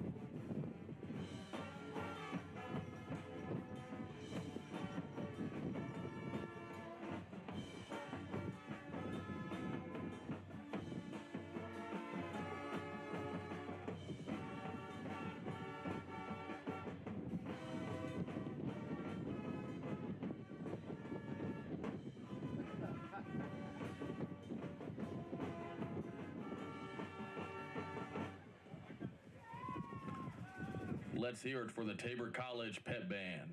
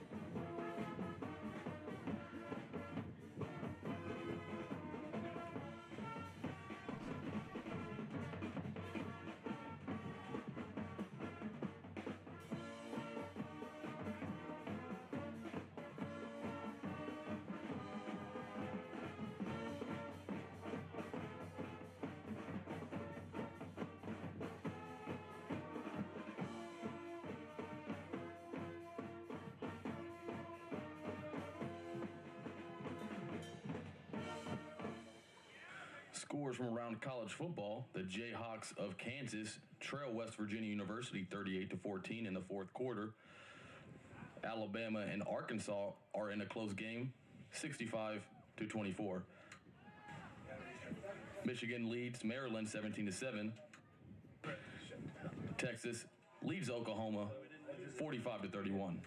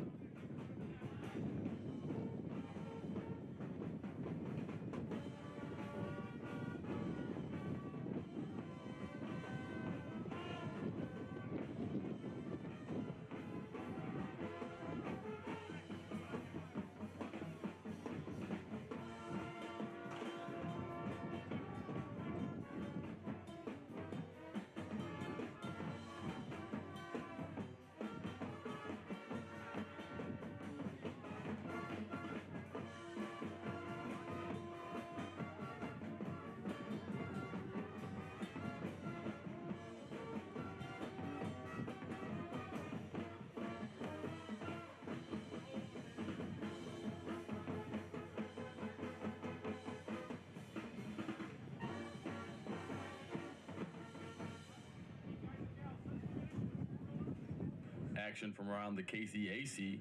Sterling leaves Ottawa by a score of 21 to 14.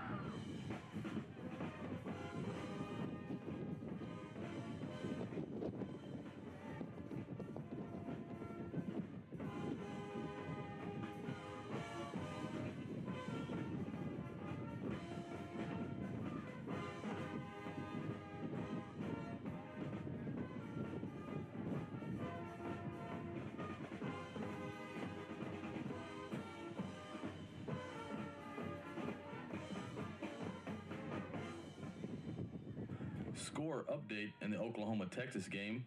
Oklahoma trails by only a touchdown, 45 38.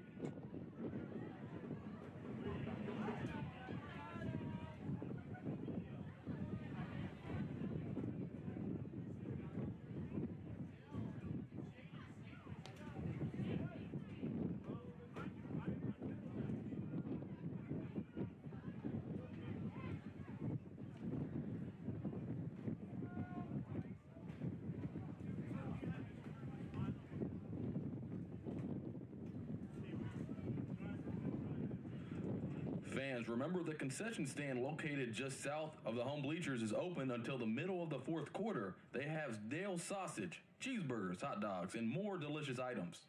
Cash and credit cards are accepted, and students can pay with the money on their J card.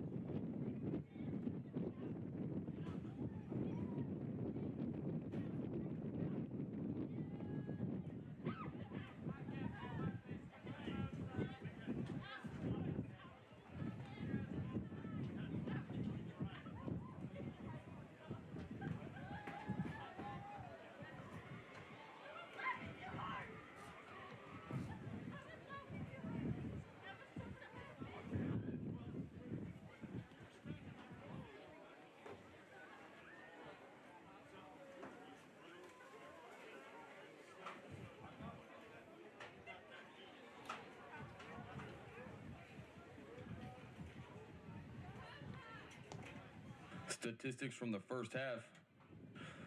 First for Southwestern, Keyshawn Wyant has 81 yards on 11 carries.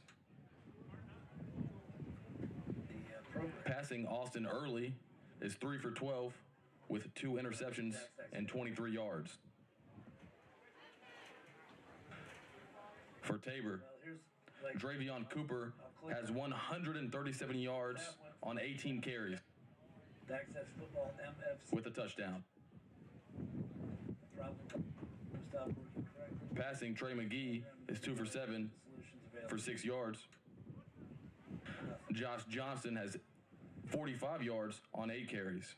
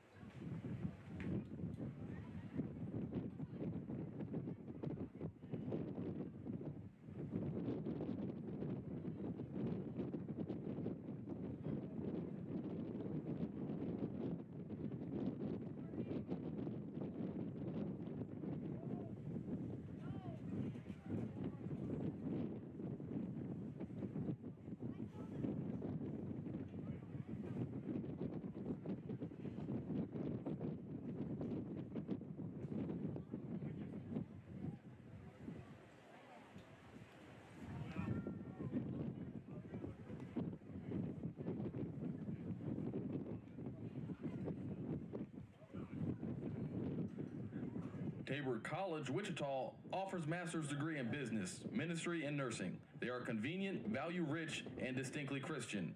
And you don't have to live in Wichita to be enrolled. All students complete their programs online. For Tabor, Hillsboro graduates and alumni, a new 50 to 40% discount off tuition is available. Find out more on Tabor's website. That's Tabor Wichita and online for your master's degree. Classes start in January.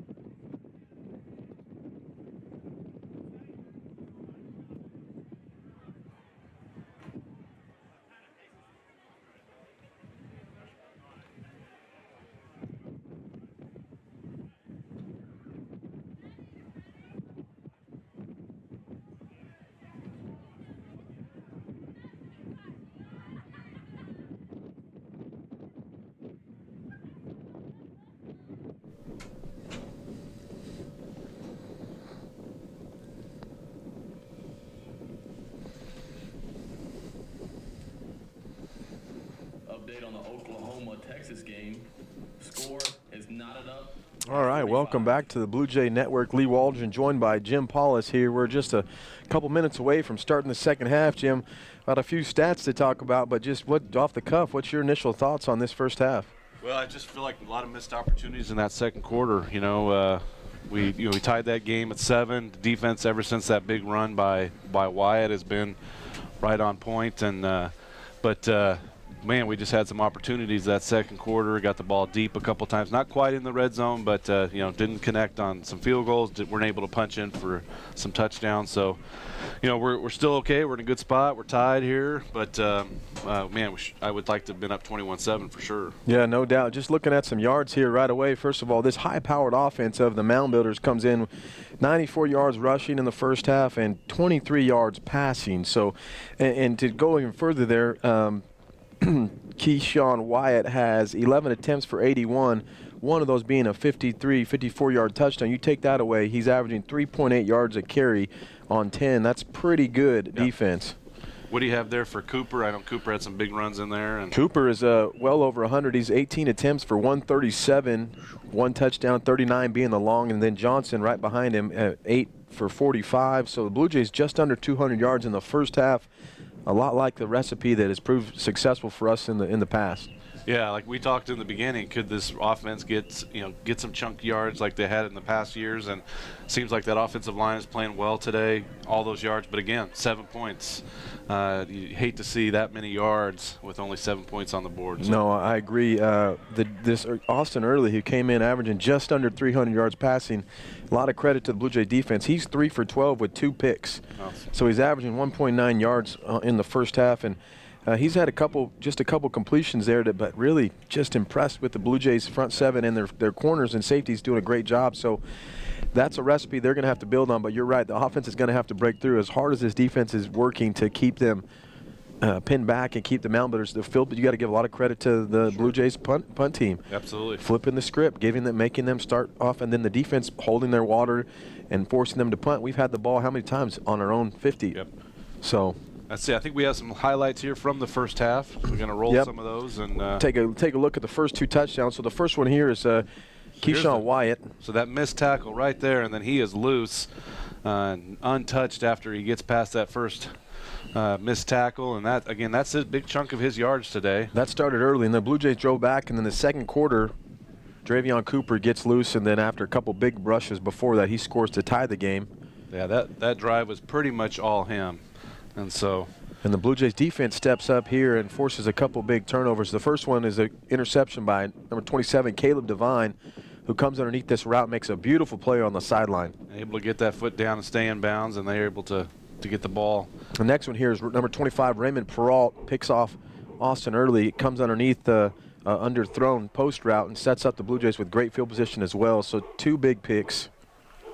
And then here's your kick right before, just before half, hits the top the top of the goalpost. So Oh, Austin man. Smith, sophomore, with a big leg, just barely misses putting them up. So unfortunate break, but here you go, are tied 7-7 going into the second half.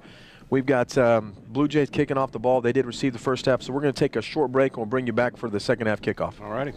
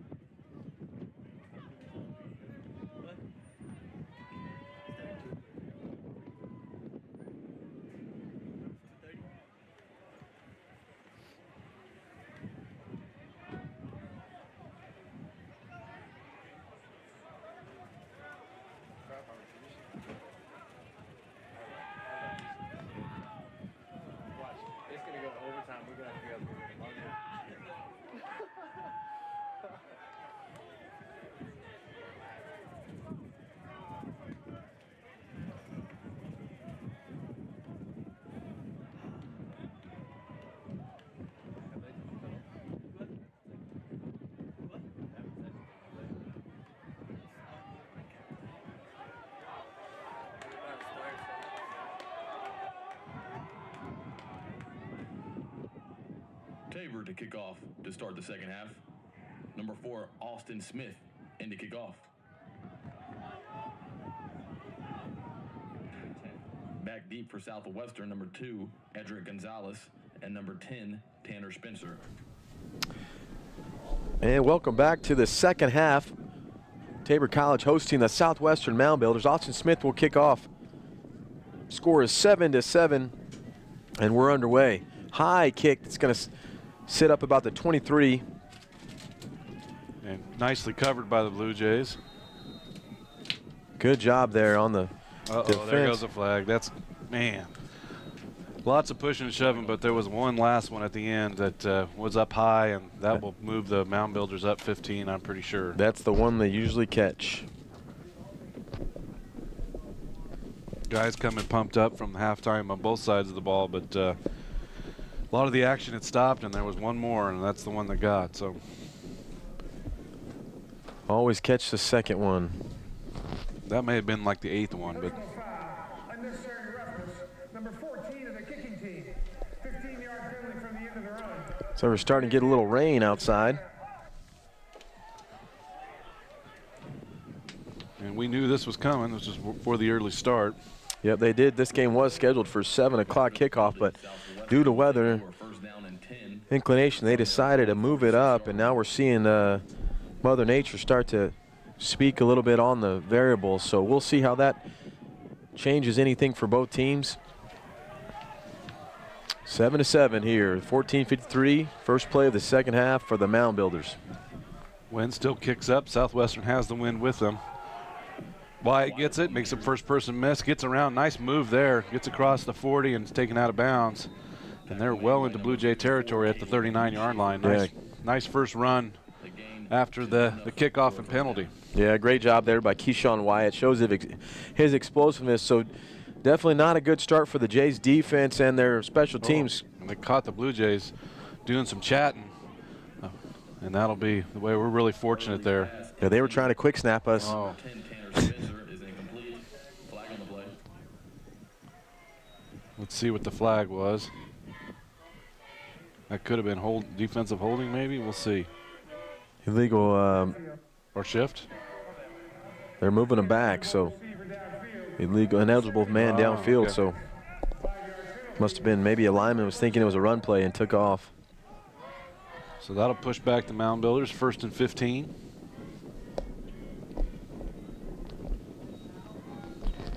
Blue Jays really overloading that left side right now with the rush, and Hmm. shifting back over. So playing some games up front with the Mound Builder O line.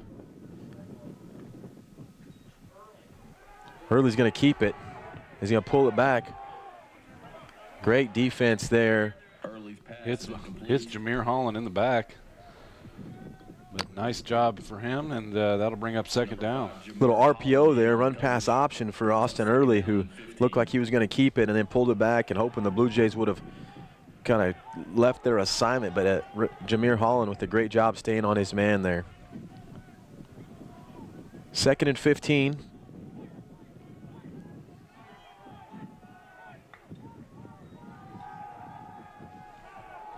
Swings it out to Early. He's got some got some space there, but taken down quickly, and that'll bring up third down. Nice pursuit by the Blue Jay defense, and what'll be about third and seven. Yeah, he still picked up eight yards though, so puts the Mound Builders in a very uh, much better spot for this third down opposed to third and long. But still, eight yards, that's tough to get against this stingy defense so far. When he first got that pass out there, there was a lot of green, and so thankfully he wasn't able to break that. Nate Beatty down here playing man-to-man on the bottom of your screen. Trips open for the Mound Builders.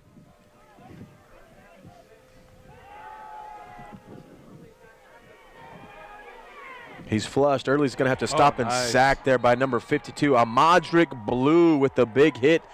The freshman from Texas filling in for Melvin Williams Nice. makes himself known uh, to start the second half.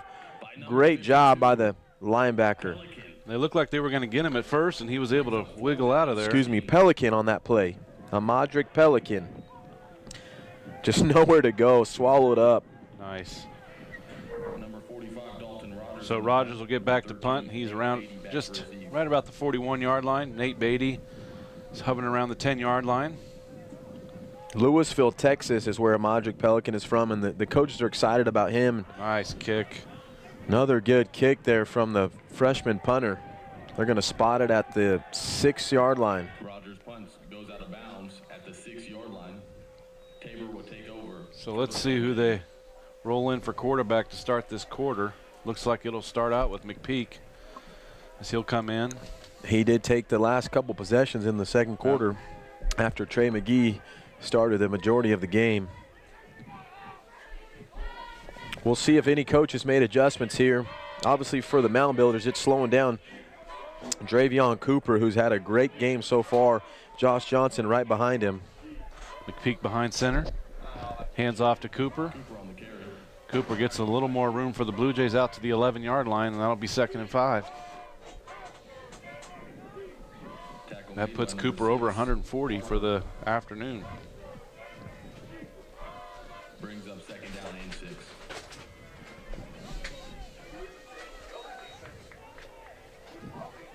Rain is now coming down pretty steadily. That will for sure be a factor. Going to have to make sure ball security is number one priority for the Blue Jay offense. Run right up the middle. So that'll get him up to the 15. Third and short here for the Blue Jays. Definitely manageable.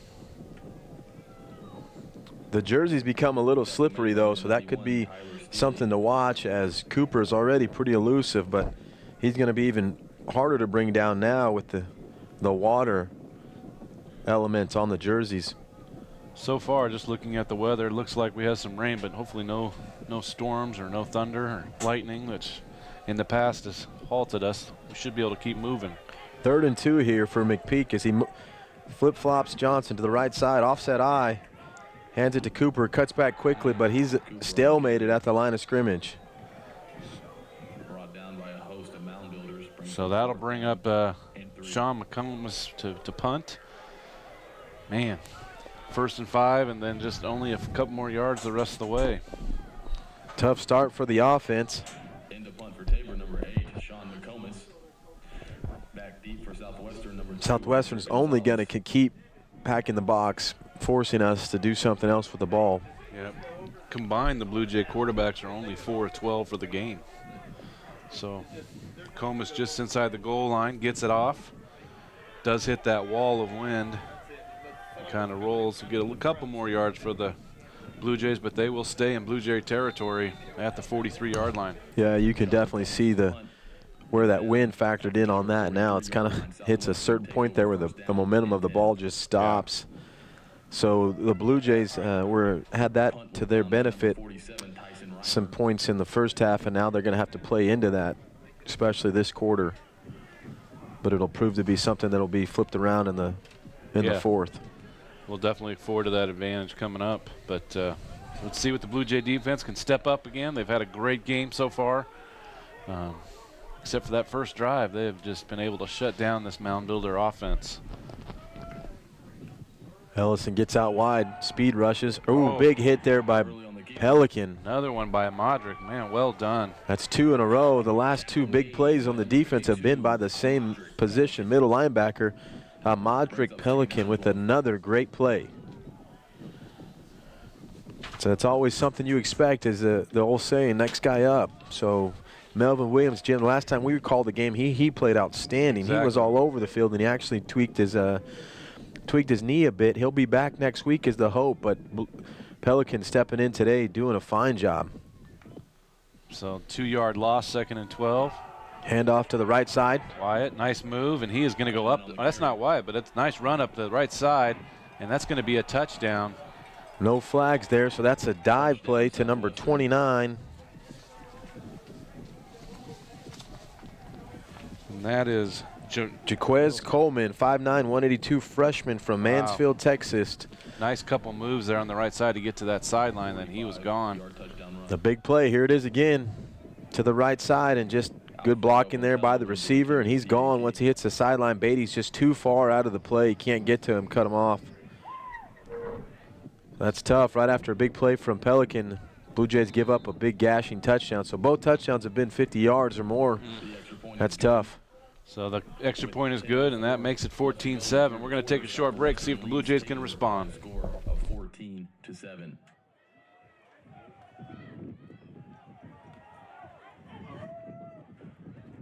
Score update to the Texas Oklahoma game. Texas won the game 48 to 45.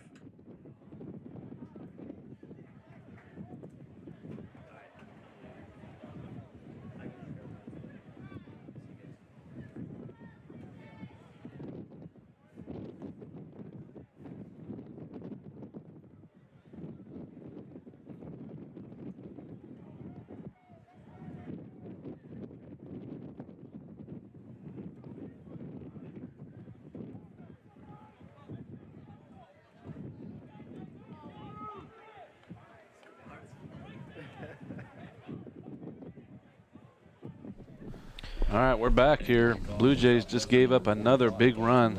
Two big runs today. I think both are over 50, Lee, and uh, they will get the ball back and see if they can respond as the, the Mound Builders are up now 14-7. Yeah, it's actually a 45-yard run, but still, that's a big play. So you got to eliminate those. And Blue Jays defense, aside from those two plays, have played outstanding. Cooper will take it. Good job there by the Mound Builders Nice coverage. special teams unit. Number 31, freshman linebacker Drew Smith from Paola, Kansas, making that play. Tabor takes over first. So the offense will try to come back and uh, unable to get a first down that first drive after the half. McPeak will come back out to lead the unit. And they will start right about the 21-yard line. So second time of today, the Jays are playing from behind, so they'll have to really show some moxie here to move the chains and get, get themselves in a position to equalize the score. McPeak in there again at quarterback. Two out to the right.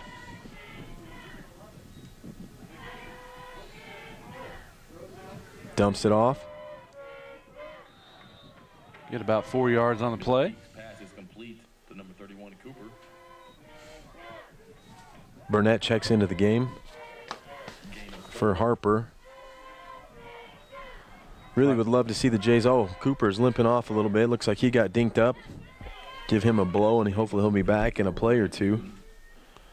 As you mentioned, uh, you know, I think the Mound Builders are bringing more and more guys in the box. So it's nice to see some of those short passes. If nothing else, to spread the field out a bit. I mean, they've got eight, eight, nine guys in the box almost. So if not, once the safety, safety, but eight guys still. There goes Johnson on the outside. Is able to get across the first down marker. First down Blue Jays. Nice play off the right side. You've, you've got to think that here, any any play now, the Blue Jays are going to be able to run that play action. And I mean, what they did right before halftime, getting the ball to Harper on that post, and then or getting a, a post corner to C.J. Tate, who's very athletic. He's he's man to man down here at the bottom of your screen. Number 12 is playing defense on him. A nice 10-yard cushion.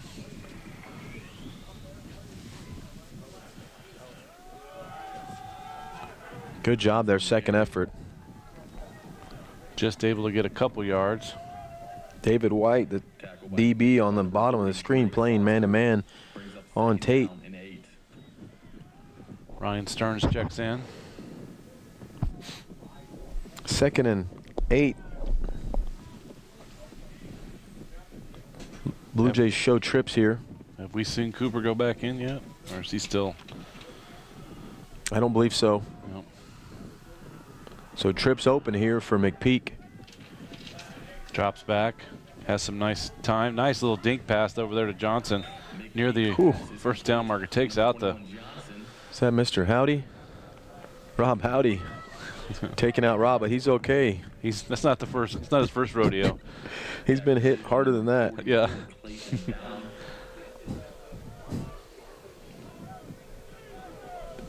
Well, makes, hopefully he's not in the concussion protocol or anything like that. So, He's an athlete. You should have seen how fast he popped up. yeah. Well, I think just because he's where he's standing, he had to pop up. So third and one. Blue Jays approaching midfield. Big third down here. Jays really need this one. Johnson back with McPeak.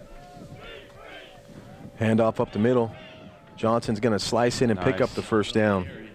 That's all Johnson right there. He did get some contact before he got to the marker, but he's able to get across. And the Blue Jays approaching midfield and have a fresh set of downs as they're at the, their own 46.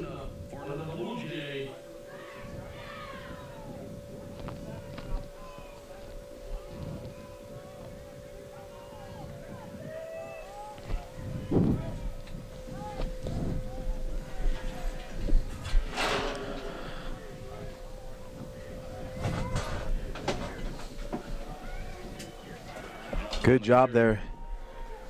Josh Johnson with that carry. By number eight, Marcus Richard. There is a flag down at the middle of the field. Let's see what the call is.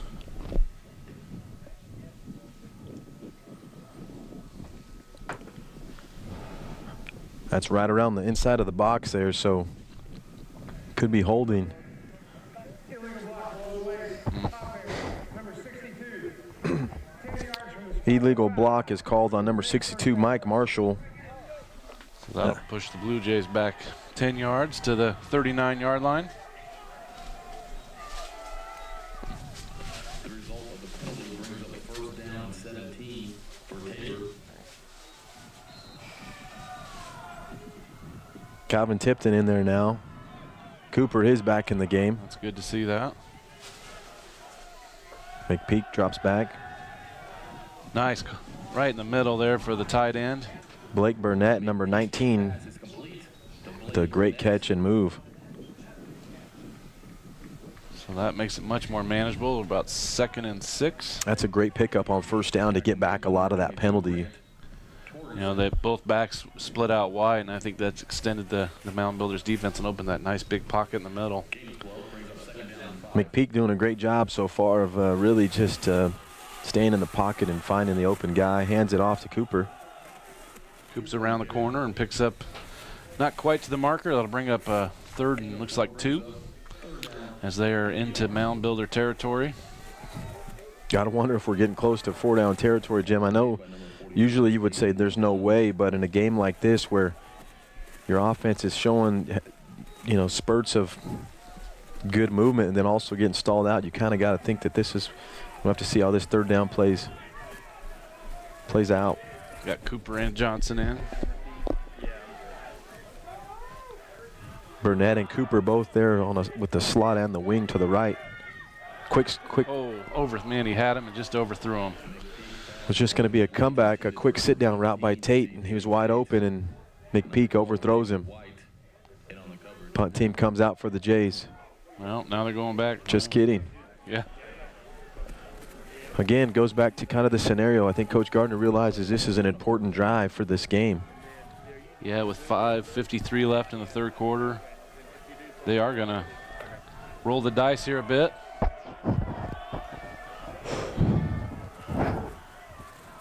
I really like that play call because they've been playing off. Oh, it's a great call. CJ's. Sometimes it's been over 10 yards cushion. And he's going to come up short. Nice play there by the mound builders, and they'll take over in downs. So going to Cooper on that quick dive, and they're unable to get it, so the Blue Jays will turn it over on downs. Good penetration by the D line. Linebackers filled in quickly. But again, that third down, Jim, that should have been a easy oh, passing catch. He was wide open. So the Blue Jay defense again needs to show up here as the Blue Jays are down 14-7. Mound Builders take over just shy of midfield. Yeah, we'll see how the Blue Jays respond after giving up a 45-yard touchdown on their last drive here.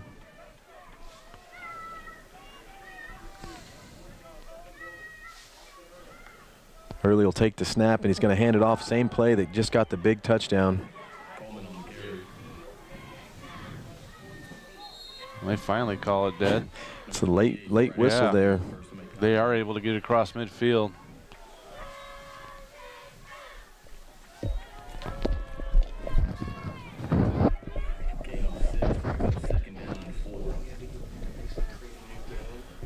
So 14 to 7 is your score. 5:20 remaining in the third quarter here in Hillsboro.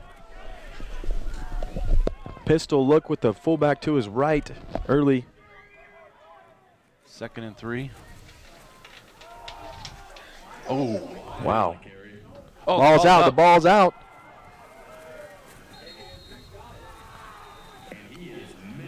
Wow. That was that was a lot of contact on that play. Southwestern does retain possession. I Wow. Wonder, wonder where they're going to mark this.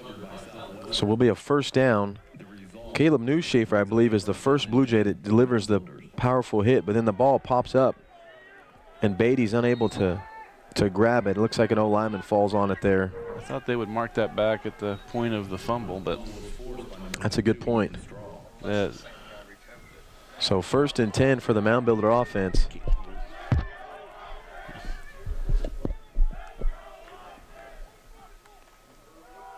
They're going to hand it off. oh, there's that man. Goodness, he's running hard. He's had a couple good runs now, and he's into close to the the red zone. There as the Mound Builders will have first and first and ten, the 24 yard line. Jaquez Coleman, they've got him listed at 5'9", 182. Looks a little bigger than that.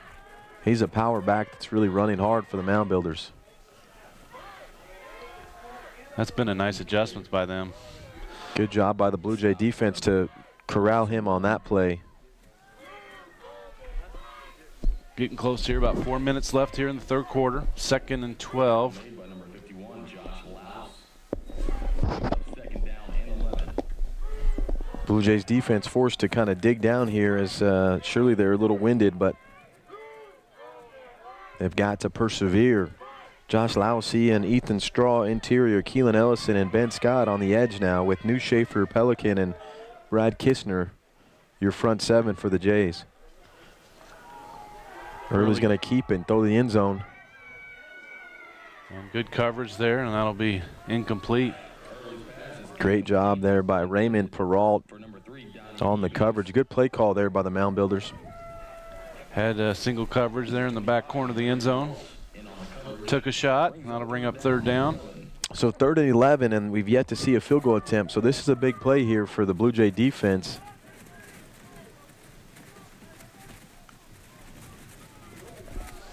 Mound Builders come in now with two receivers to the bottom right, one to top there. They got a pistol look with the fullback to the right of the quarterback, Coleman, who's had a couple big carries. Play clock down to three. Early rolls out to the right. Trying to find some space. And he'll be brought down shy of the first down. Good job on pursuit, Kistner, but Early still able to pick up about nine and a half yards. Let's see what the mound builders do here if they try to make this a two score game. Or will they go for it? it? Looks like the field goal unit will come out. Seems like an easy call. Again, they won at the buzzer last week against Avila. Gave Avila their first loss of the year. On a field goal. Yep. And that was a 50 yarder, so this will be right at 33. Number 84, Alfredo Motel into attempt the 34-yard field goal.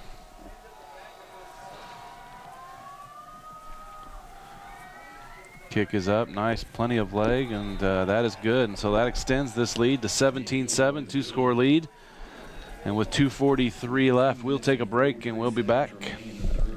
Southwestern leads Tabor by a score of 17 to 7.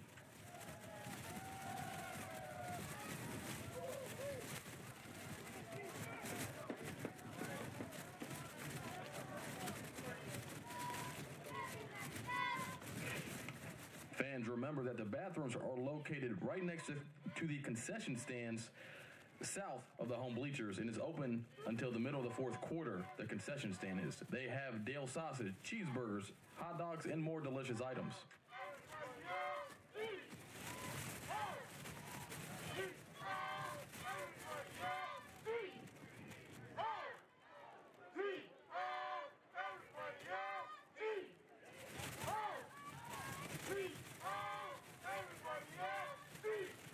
And to kick off for Southwestern, number 45, Dalton Rogers.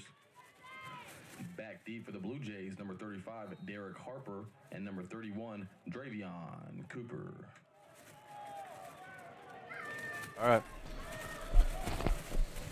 All right, Blue Jays back, ready to receive, down 10. Just a little short pooch kick. Calvin Tipton will get it just around the 17 yard line. He runs it up right up the middle to the 30 yard line. Blue Jays will take over. Well, Lee, we need to see some points now from the Blue Jay offense as uh, it's been a long time since they've been able to put some points up. Yeah, at some point you you got to be thinking the Blue Jays are going to have to open it up and at least uh, get creative to get the ball into some other guy's hands or, or get it in Dravion's hands from a different perspective rather than handing it off.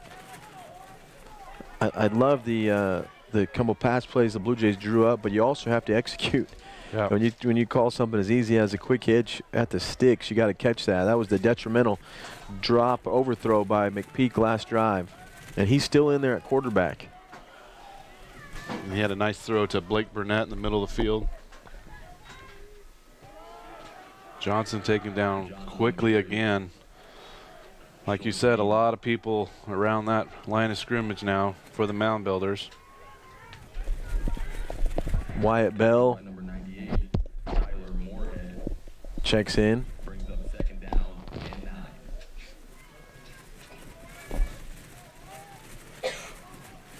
Second and nine. Lorenz Plummer checks into the game as well. CJ Tate.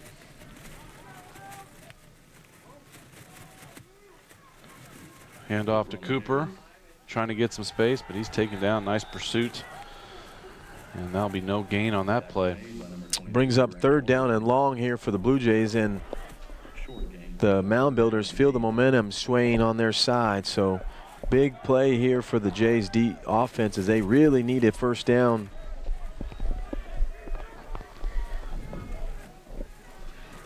Hmm. Tate is lined up close to the line of scrimmage. He's going to run a, looks like a corner route. Uh-oh. And he'll go down.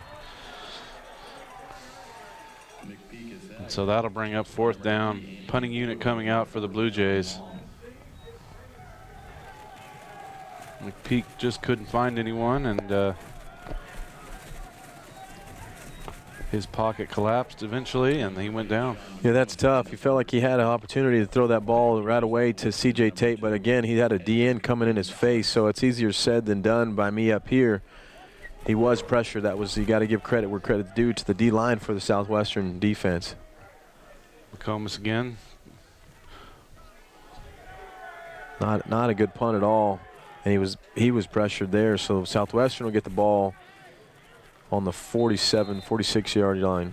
McComas' punt is down. Tell you, with that win, it seems like ever since the second quarter, all the action's been to our right, Southwestern will take over first as both teams have struggled. So far, all Southwestern here in the second half. We came in and tied uh, seven apiece to start the half. Couple big plays, field goal, and a touchdown by Southwestern has the Blue Jays trailing by 10 with with their defense back on the field. Let's see if uh, the Blue Jays can get another big turnover like they had in that first half. Be nice to get one of those for sure.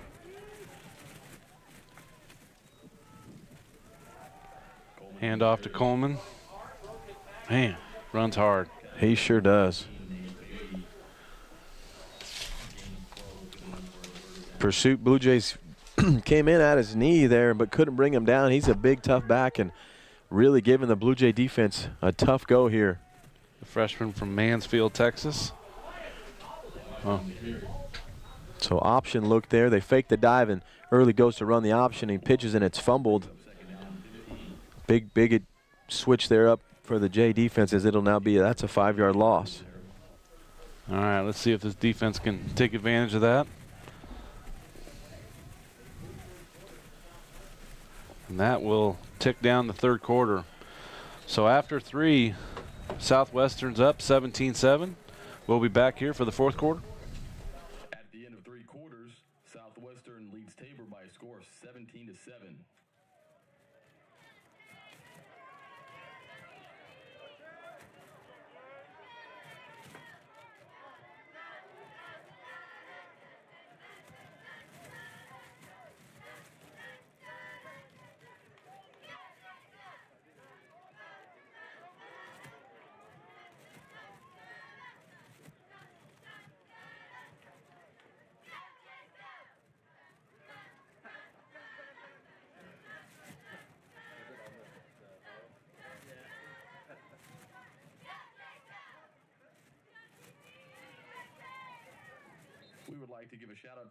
College cheerleading team for all their hard work and dedication.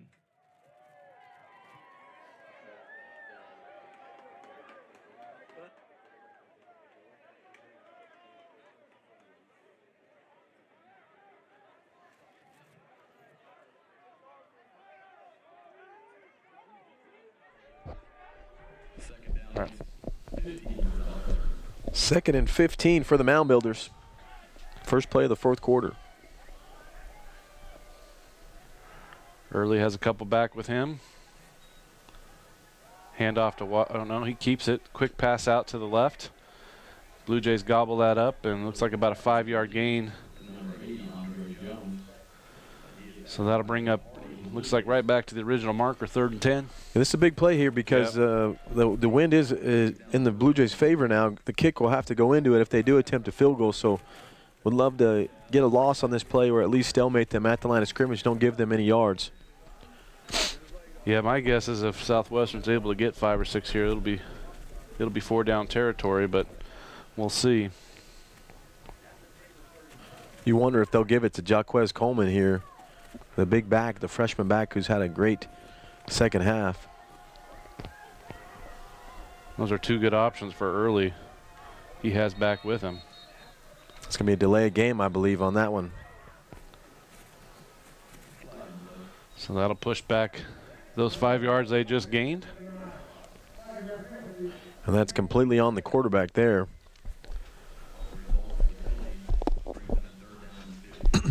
Third and 15.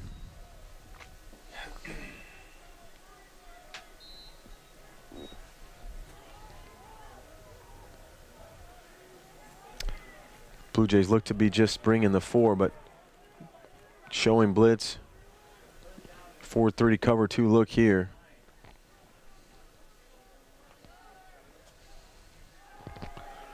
Early looks. He steps up into the pocket. Surprised there's not a flag there. He Yeah. was close to being a forward lateral. He looked like he wanted to take off, but I think he thought otherwise. So that'll bring out the punting unit from the mound builders. Rogers comes out. He'll be going into the wind.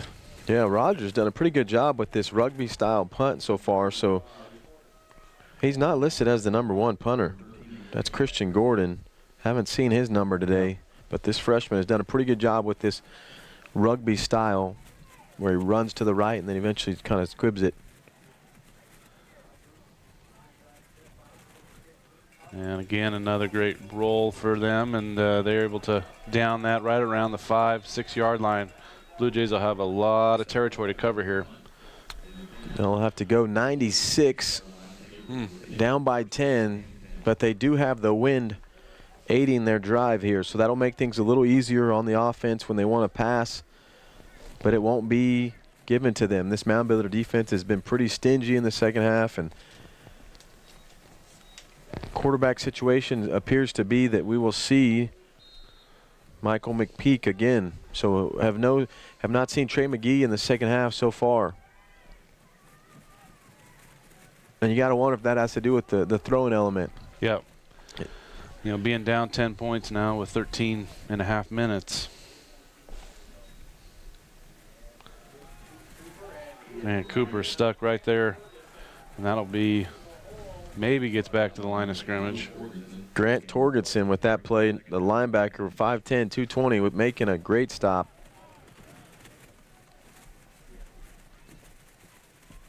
Try to get Cooper coming around from the, the wing position.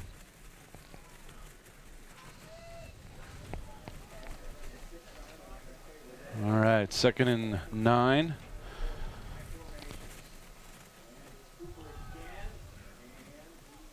Another run up the middle. Gets a little bit of yards, but that'll bring up third and five.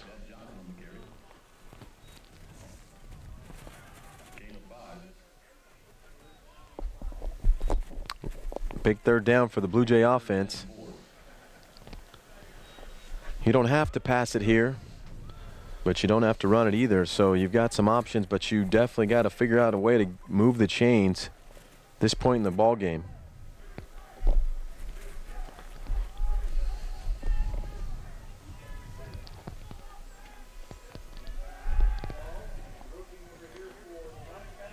Oh, He's trying to get the swing route there to Cooper, but he was again a man in his face. so that'll bring out the punting unit. Blue Jays running out of time here. 12-11 left in the game. Down 10, and they are going to give the ball back. Hopefully, uh, McComas can get a nice kick here with the wind. Mm. Punt team will have to hold down here at the punt defense of the Moundbuilders has done a pretty good job of forcing the issue the last couple times the Blue Jays have had to punt.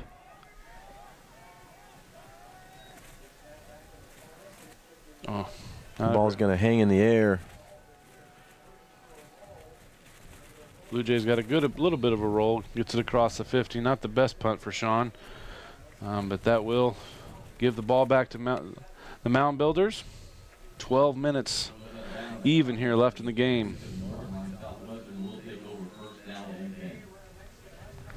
You got to figure that Blue Jay defense is getting a little winded here. They've been on the field an awful lot the second half. Yeah, for sure. They have played a lot of football. That's something we said was going to have to be stopped. You're going to have to give them a blow because this offense is pretty potent, and the Blue Jays defense, you take away two plays, has really played great. Let's see if they can contain Jaquez Coleman. It goes to Wyatt. Nice. Kistner, Brad Man. Kistner making that play. Great job by the senior linebacker. Able to bring him down after just only about two yards.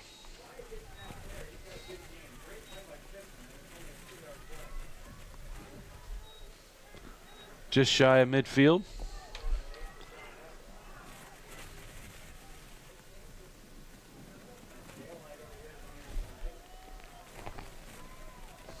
Peralt playing man-to-man coverage down here. Goes in motion with number 15. Early's going to look to run the keep it. And nice tackle by Peralt there. As he came with the motion, he was waiting. Good football play there by Raymond Peralt, who's got one interception on the day already. Plays his corner position well for the tackling. Also, a couple pass defense during the game. Great game. All right, third and six. See if the Blue Jays can get that ball right back. Big play here for the Blue Jay defense. Showing blitz. Man in motion. They're going to fake the handoff, give it to Coleman, who's met there by the linebacker. Nice. Kistner again involved. And So- that'll bring out the punting unit. So they'll have to punt. At this point, though, the, the Mound Builders are more than happy to play that game, to run a few plays and punt it, knowing that their defense is playing so well and that at this point the Blue Jays offense is not showing any signs of momentum in the second half. Yeah, I'm not. If they have a first down, there isn't very many of them, that's for sure. Beatty hangs out right around the 25 yard line. All kinds Oh, they of brought pressure. Punt block team on that, hoping to get a piece, but it does help their team out as they're going to start in much better field position. So great job by Coach Gardner trying to bring a little pressure there. They almost blocked it. That would have been very big if we could have gotten that and a, bounce it even. You never know what can happen there, Jim. Yeah, so the ball really only moves up the field about 18, 19 yards. So, but the Blue Jays have some work to do. They had a, all kinds of trouble this second half moving the ball, both in the air and the ground.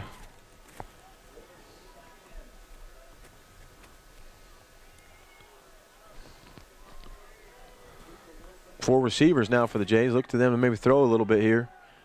Gets it to Burnett. Would like to see a little urgency out of the Blue Jay offense here. Maybe a little no huddle. We are under 10 minutes. They need, need two scores. You know, Blue Jays have missed three field goals today, Jim, but uh, you know one of those was, uh, was Oh. blocked. One hit the top of the upright, and then the one right before half was that was a tough one as well. Uh, Cooper's gobbled up again. Just doing a great job Hmm. containing him so far in the second half. You got to give a lot of credit to the adjustments that uh, the defensive coordinator for the Mound Builders has made in the second half, and the Blue Jays still have time to counter. They're just gonna they just need to get a big play. So third and five. Trips open here. Harper, C.J. Tate. Blake Burnett to the to the top of your screen. Quick slant there to number 11. It's going to move the chains. Oh, that's going to be. He was bobbling it and he wasn't able to gather it. Let's see what. And the punting unit will come out. I believe Sincere Jackson intended receiver for that.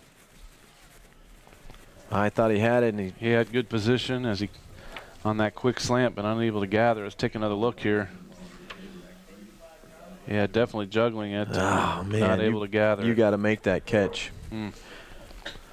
This point in the game, those are plays that have to be made if you're going to keep in it. That's two big plays, one by the quarterback and one by the receiver now that the Blue Jays have been unfortunate. That's a good punt there.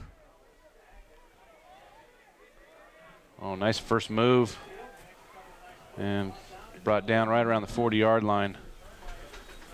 Good contact there by McComas, getting a getting a good pop on the ball. Coverage team gave up a little bit of yards there, but still the worst field position that uh, the Mound Builders have had so far this game, this second half.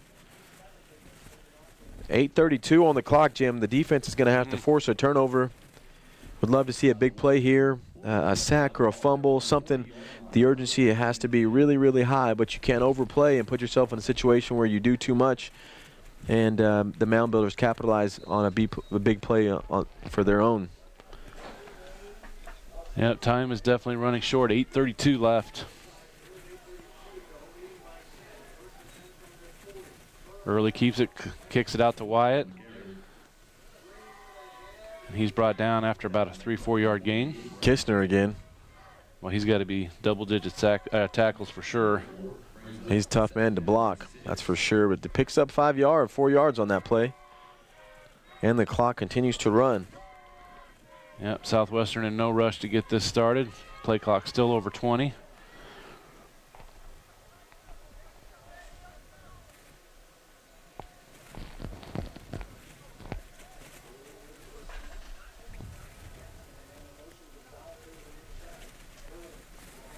Another one to Wyatt. He's crossed the first down marker across midfield. That's the first time that he's found a little room, so they go to him, and he's been their bell cow most of the season. Hmm. Picks up the first down. So fresh set of downs as they are into Blue Jay territory.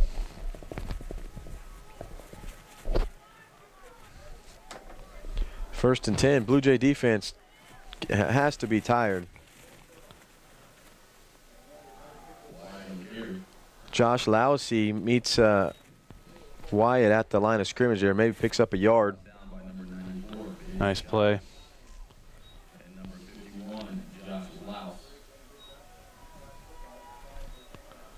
Officials trying to keep as dry a football as possible out there. No, let that thing get wet. So yeah, we're okay with that. Yeah.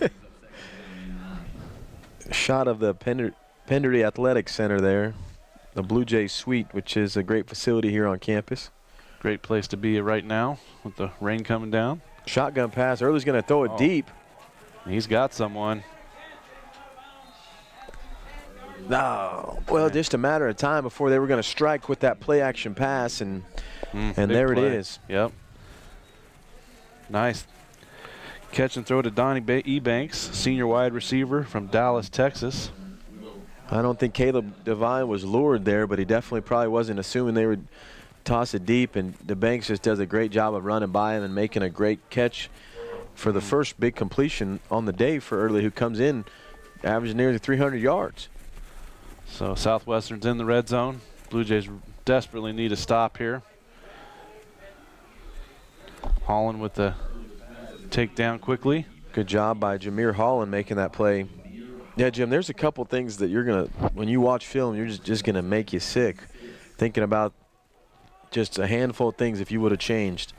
This game is completely different story. Well, that, again, that second quarter we had the ball, I think, inside the 30 three times and uh, unable to put any points on the board for on those three drives. So Still within a it's two possession game here, and you'd like to keep it that way. Worst case, holding Southwestern to a field goal. And there's a run right up the middle, and that's going to be touchdown Southwestern.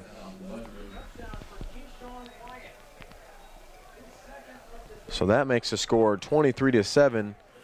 Looks like the officials are still thinking about it, but they're going to call it a touchdown. Let's see it again, just right up the gut here. Nate Beatty unable to make the play, and Jameer Holland two safeties. When you're asking your safeties to make the play at the goal line, that's tough. So Nice hard run. good block there by number 69 on Kistner. That would be the center of the guard there for. Kick is up. Left guard, Yancey Van Vanosdale making a great block there. So we're going to take a break here. 5.50 left. Southwestern in command, 24 to 7.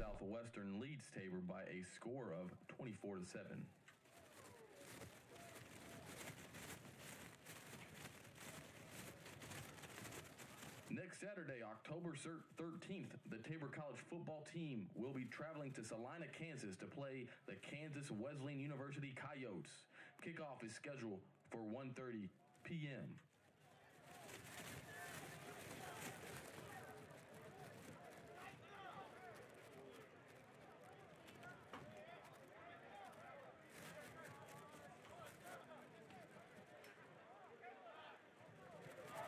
Back deep for the Blue Jays, number 35, Derek Harper, and number 31, Dravion Cooper. Kicking off for Southwestern, number 45, Dalton Rogers. And welcome back, Blue Jay Network. Blue Jays trail by a score of 24 to 7 with just under six minutes to go in the fourth quarter. Southwestern just scored again, and now with the high Puchin kick.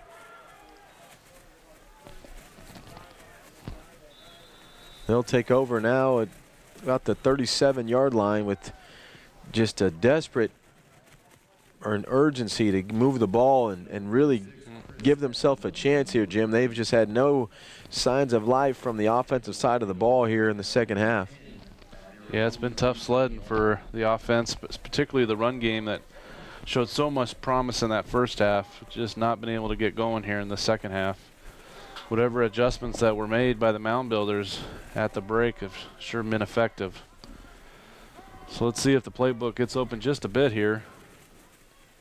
McPeak is back in the shotgun, drops back. Going to have to get rid of it. Basically throws it away. No, no, they're going to call a catch, you know. Oh, no. Yep, the, Oh, wow, back, the back judge calls it a catch right there at the 45, but there is a flag. I was looking at the wrong official. The back back judge there called that catch, but this looks like it could be jeopardy of a holding call. Or maybe a, a lineman downfield.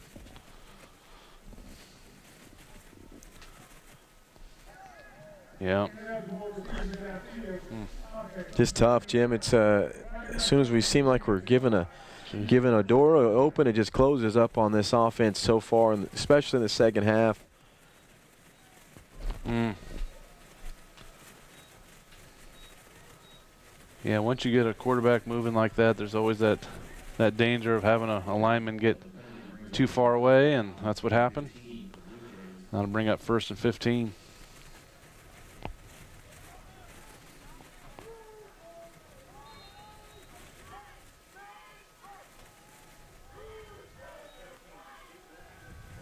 McPeak's going to throw it deep there. Ooh, intended for C.J. Tate. Good coverage there. That'll bring up second and 15. Number 24, Michael Jackson, in on coverage. Brings up second down 15.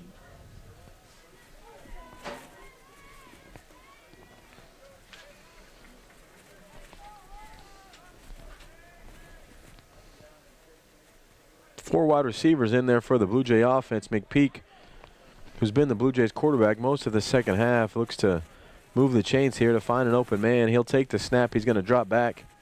Looking to his. He's going to throw it right. deep to Harper. little contact on the play. That'll bring up third down.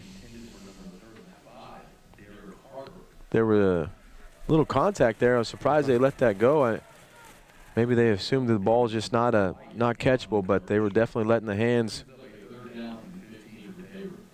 one of the coaches looking for an explanation. And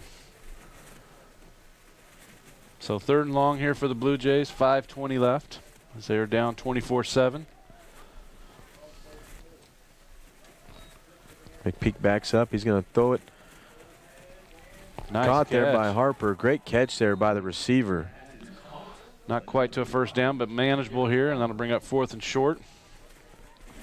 Gain of 14 brings up fourth down and one. We'll catch up some other scores. Friends with a big victory over Bethany, 42 to 26. Oh, that's a good win for them. Yeah, they've struggled out of the out of the box. It says Sterling and Ottawa are playing today. Fourth and one here for the Jays offense. McPeak is going to throw up the fade again to Tate. Just out of reach, and that'll be a turnover on downs. Yeah, and that Sterling Ottawa game, they're in the third quarter. Sterling on top 28 26, so a tight Wow. one for that. It's a great game. Later on, Kansas Wesleyan will be hosting St. Mary's, and Bethel will host McPherson as Bethel is having their fall festival homecoming uh, celebrations on their campus today. So we'll see how that football game turns out as well. Here it's uh, right at the five minute mark. Blue Jays down 24 7, really struggled this second half. Went into the break tied at seven but uh, have not been able to get on the board this second half. And Southwestern in control. Early gets it, hands it off to Wyatt. He bounces out to the left. Kistner with yet another tackle. Yeah, just been just too much. You know, and one of the big variables um, of change that Southwestern made in the second half was getting this young man, Jaquez, Jaquil, excuse me, Coleman, the running back, 5'9", 182, the ball. Yeah. That first couple drives, he was just the difference maker. He had the big touchdown run, uh, was just getting 10, 15 yards a pop, and just just was a tough back to bring down for the Jays, and he was fresh. We're going to take, there's an injury timeout. We're going to take a timeout as well.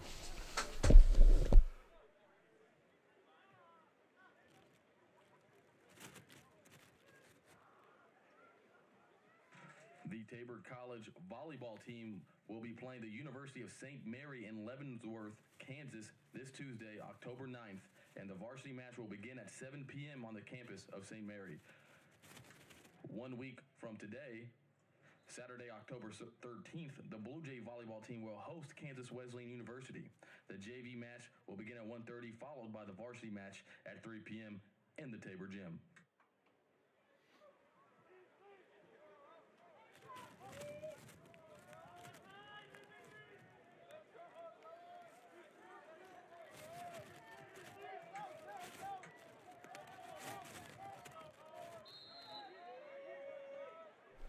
All right, we're back here, second and eight.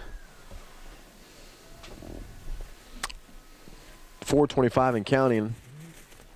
Southwestern no urgency to snap the ball early as the clock is running down. Two receivers to the right, one to the left. Couple scores also to update the Blue Jay fans of women's volleyball team. A victory last night against Oklahoma Wesleyan, 3-0. Nice pass. And that'll be a completion. Clock will stop briefly. So Southwestern is not about to take the gas off yet. They're still trying to put a put the ball in the end zone. Up by 17, four minutes and counting. A couple other scores from last night. Women's soccer with another victory in conference, defeating St. Mary's 2 to 1. Yeah, they are now. Is it five and one in conference? Yeah, Only lost is to Oklahoma Wesleyan. And men's the men's soccer team won in the 85th minute last night. yeah, they took a victory 1-0. They needed that one, so that was a big win for them. Men's basketball had a little scrimmage inter squad this morning, so basketball season is approaching.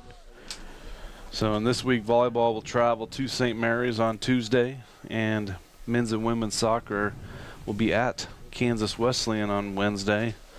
And then on Saturday, this football team will travel up to Salina to take on Kansas Wesleyan, who have early in the season have Look like a very tough opponent. Yes, yeah. They've They're playing extremely well, both sides of the ball. yeah, put up some big numbers early. Oh, I think uh, Kansas Wesleyan is right up there in the national statistics for takeaways. They're offensively, they're putting up big yards, big points. So yeah, they're they're establishing themselves as one of the top teams in the conference, and the Jays will be in Salina next week, and then they turn around and, and homecoming the following week as they host Sterling. coming up two weeks. So third and ten. As the Mound Builders are looking to throw the ball, even up uh, 17 here. They'll hand it off there. Wyatt stopped, and that'll bring up fourth and five. Clock continues to tick here, two and a half minutes.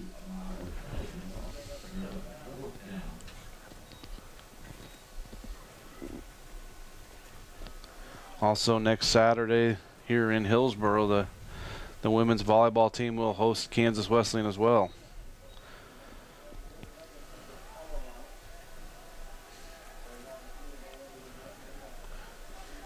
Fourth and five. The Southwestern chooses to go for it here instead of kicking into the wind. As they're at the 28 yard line, looking to put some more points on the board. Early, Wyatt gets it, and he will be held up, and that'll be a turnover on downs. Down by number 54, Caleb Newshaker. Blue Jays take over. First and 10. So turnover on downs here. Blue Jays have two minutes to try to salvage something, right? They, there's always something to play for. So you'd love to see them maybe move the chains a few times, get them in a position. They ha- do have three timeouts. If they score, kick an onside kick, uh, there's a lot to play for in a situation like this. Yep, still a lot of young guys on the field. Get some experience. McPeak looks. Man, he's going to throw that up to Harper. Tried to make a play out of bounds, but he's going to come up just short. So after today, this will move the Blue Jays to two and three overall, and one and three in conference, and then Kansas, uh, excuse me, Southwestern will move to five and two overall with a four and two conference record, with big games coming up for both teams. 141 left. Again, McPeak drops back. Quick pass out to the left. It's caught. Tate with the reception. Close to the marker. I think it's going to be just a tad short. So third and one.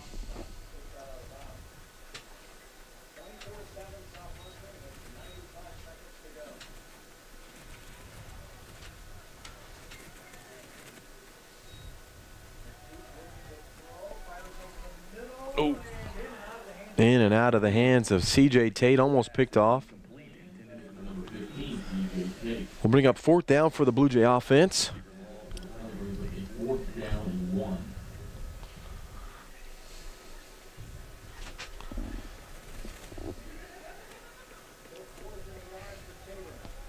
Fourth and one. They will line up here.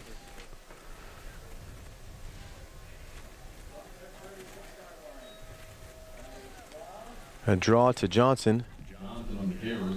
See what they Look mark like it. forward progress. I believe they're going to give him it because he was stalemated and then bounced back, but I believe he picked up the first down. He is down.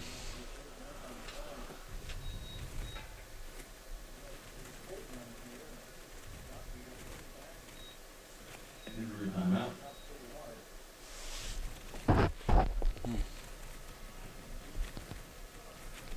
The result of that play brings up. So they did give the mark to Johnson. He's slow to get up, and they'll The men's varsity team are playing at Kansas Wesleyan next week on Wednesday, October 10th. The women's soccer team will also a home match from today on October 13th versus Central Christian College. The women's match versus Tigers will begin at 3 p.m. So Johnson is able to walk off under his own power. That's always a big thing when an athlete is able to walk himself off. Maybe he just got banged up. Uh, big piece of this Blue Jay offense, so they'll need him down the stretch.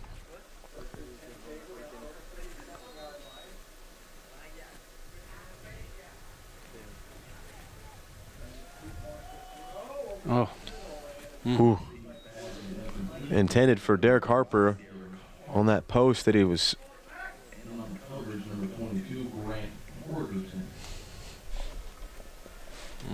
So second and 10 now for the Blue Jay offense.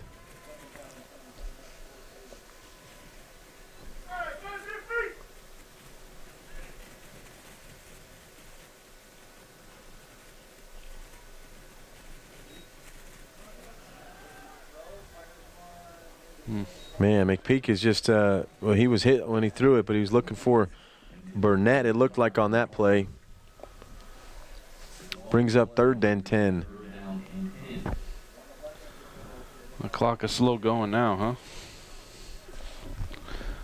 Both teams throwing it now more than they had the whole game.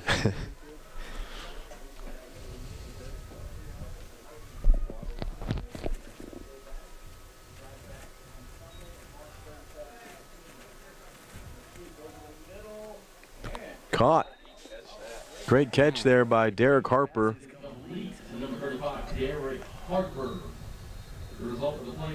Big, big catch.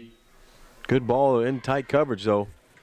But Harper makes the play, and he's going to have to come out for a, a play. It's Ryan Stern subs in for Harper. Always something to play for. Would love to see the Blue Jays drive down here and score a touchdown. One minute left here. This offense is ever developing, still growing, and they need every bit of experience they can get. So even in a situation like this, there's always something to learn from. Seemed like that ball slipped out of his hand. Bring up second and 10.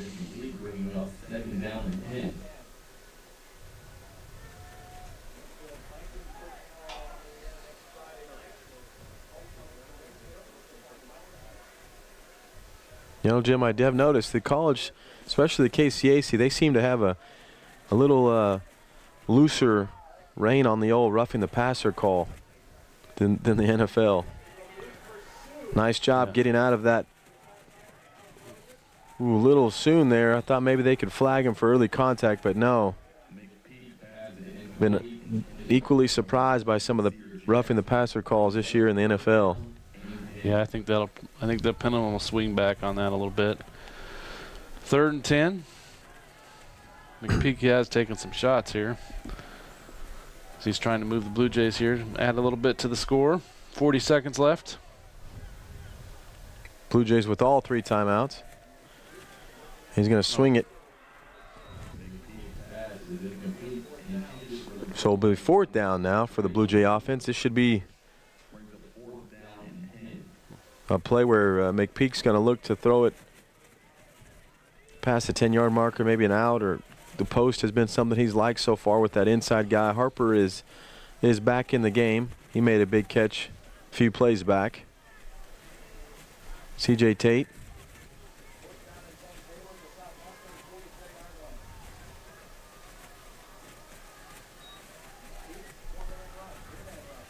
Got some time. McPeak rolls to the right. Oh, like Tate had a chance to catch it. Just couldn't bring it in. So that'll do it. As Southwestern should just take a knee here to end the ball game. Jim, a lot of work to be done, but still, Yeah. at halftime it's seven to seven, and the Blue Jays um, go back to like you said that second quarter when they had three opportunities inside their own 35-yard line and they're unable to capitalize.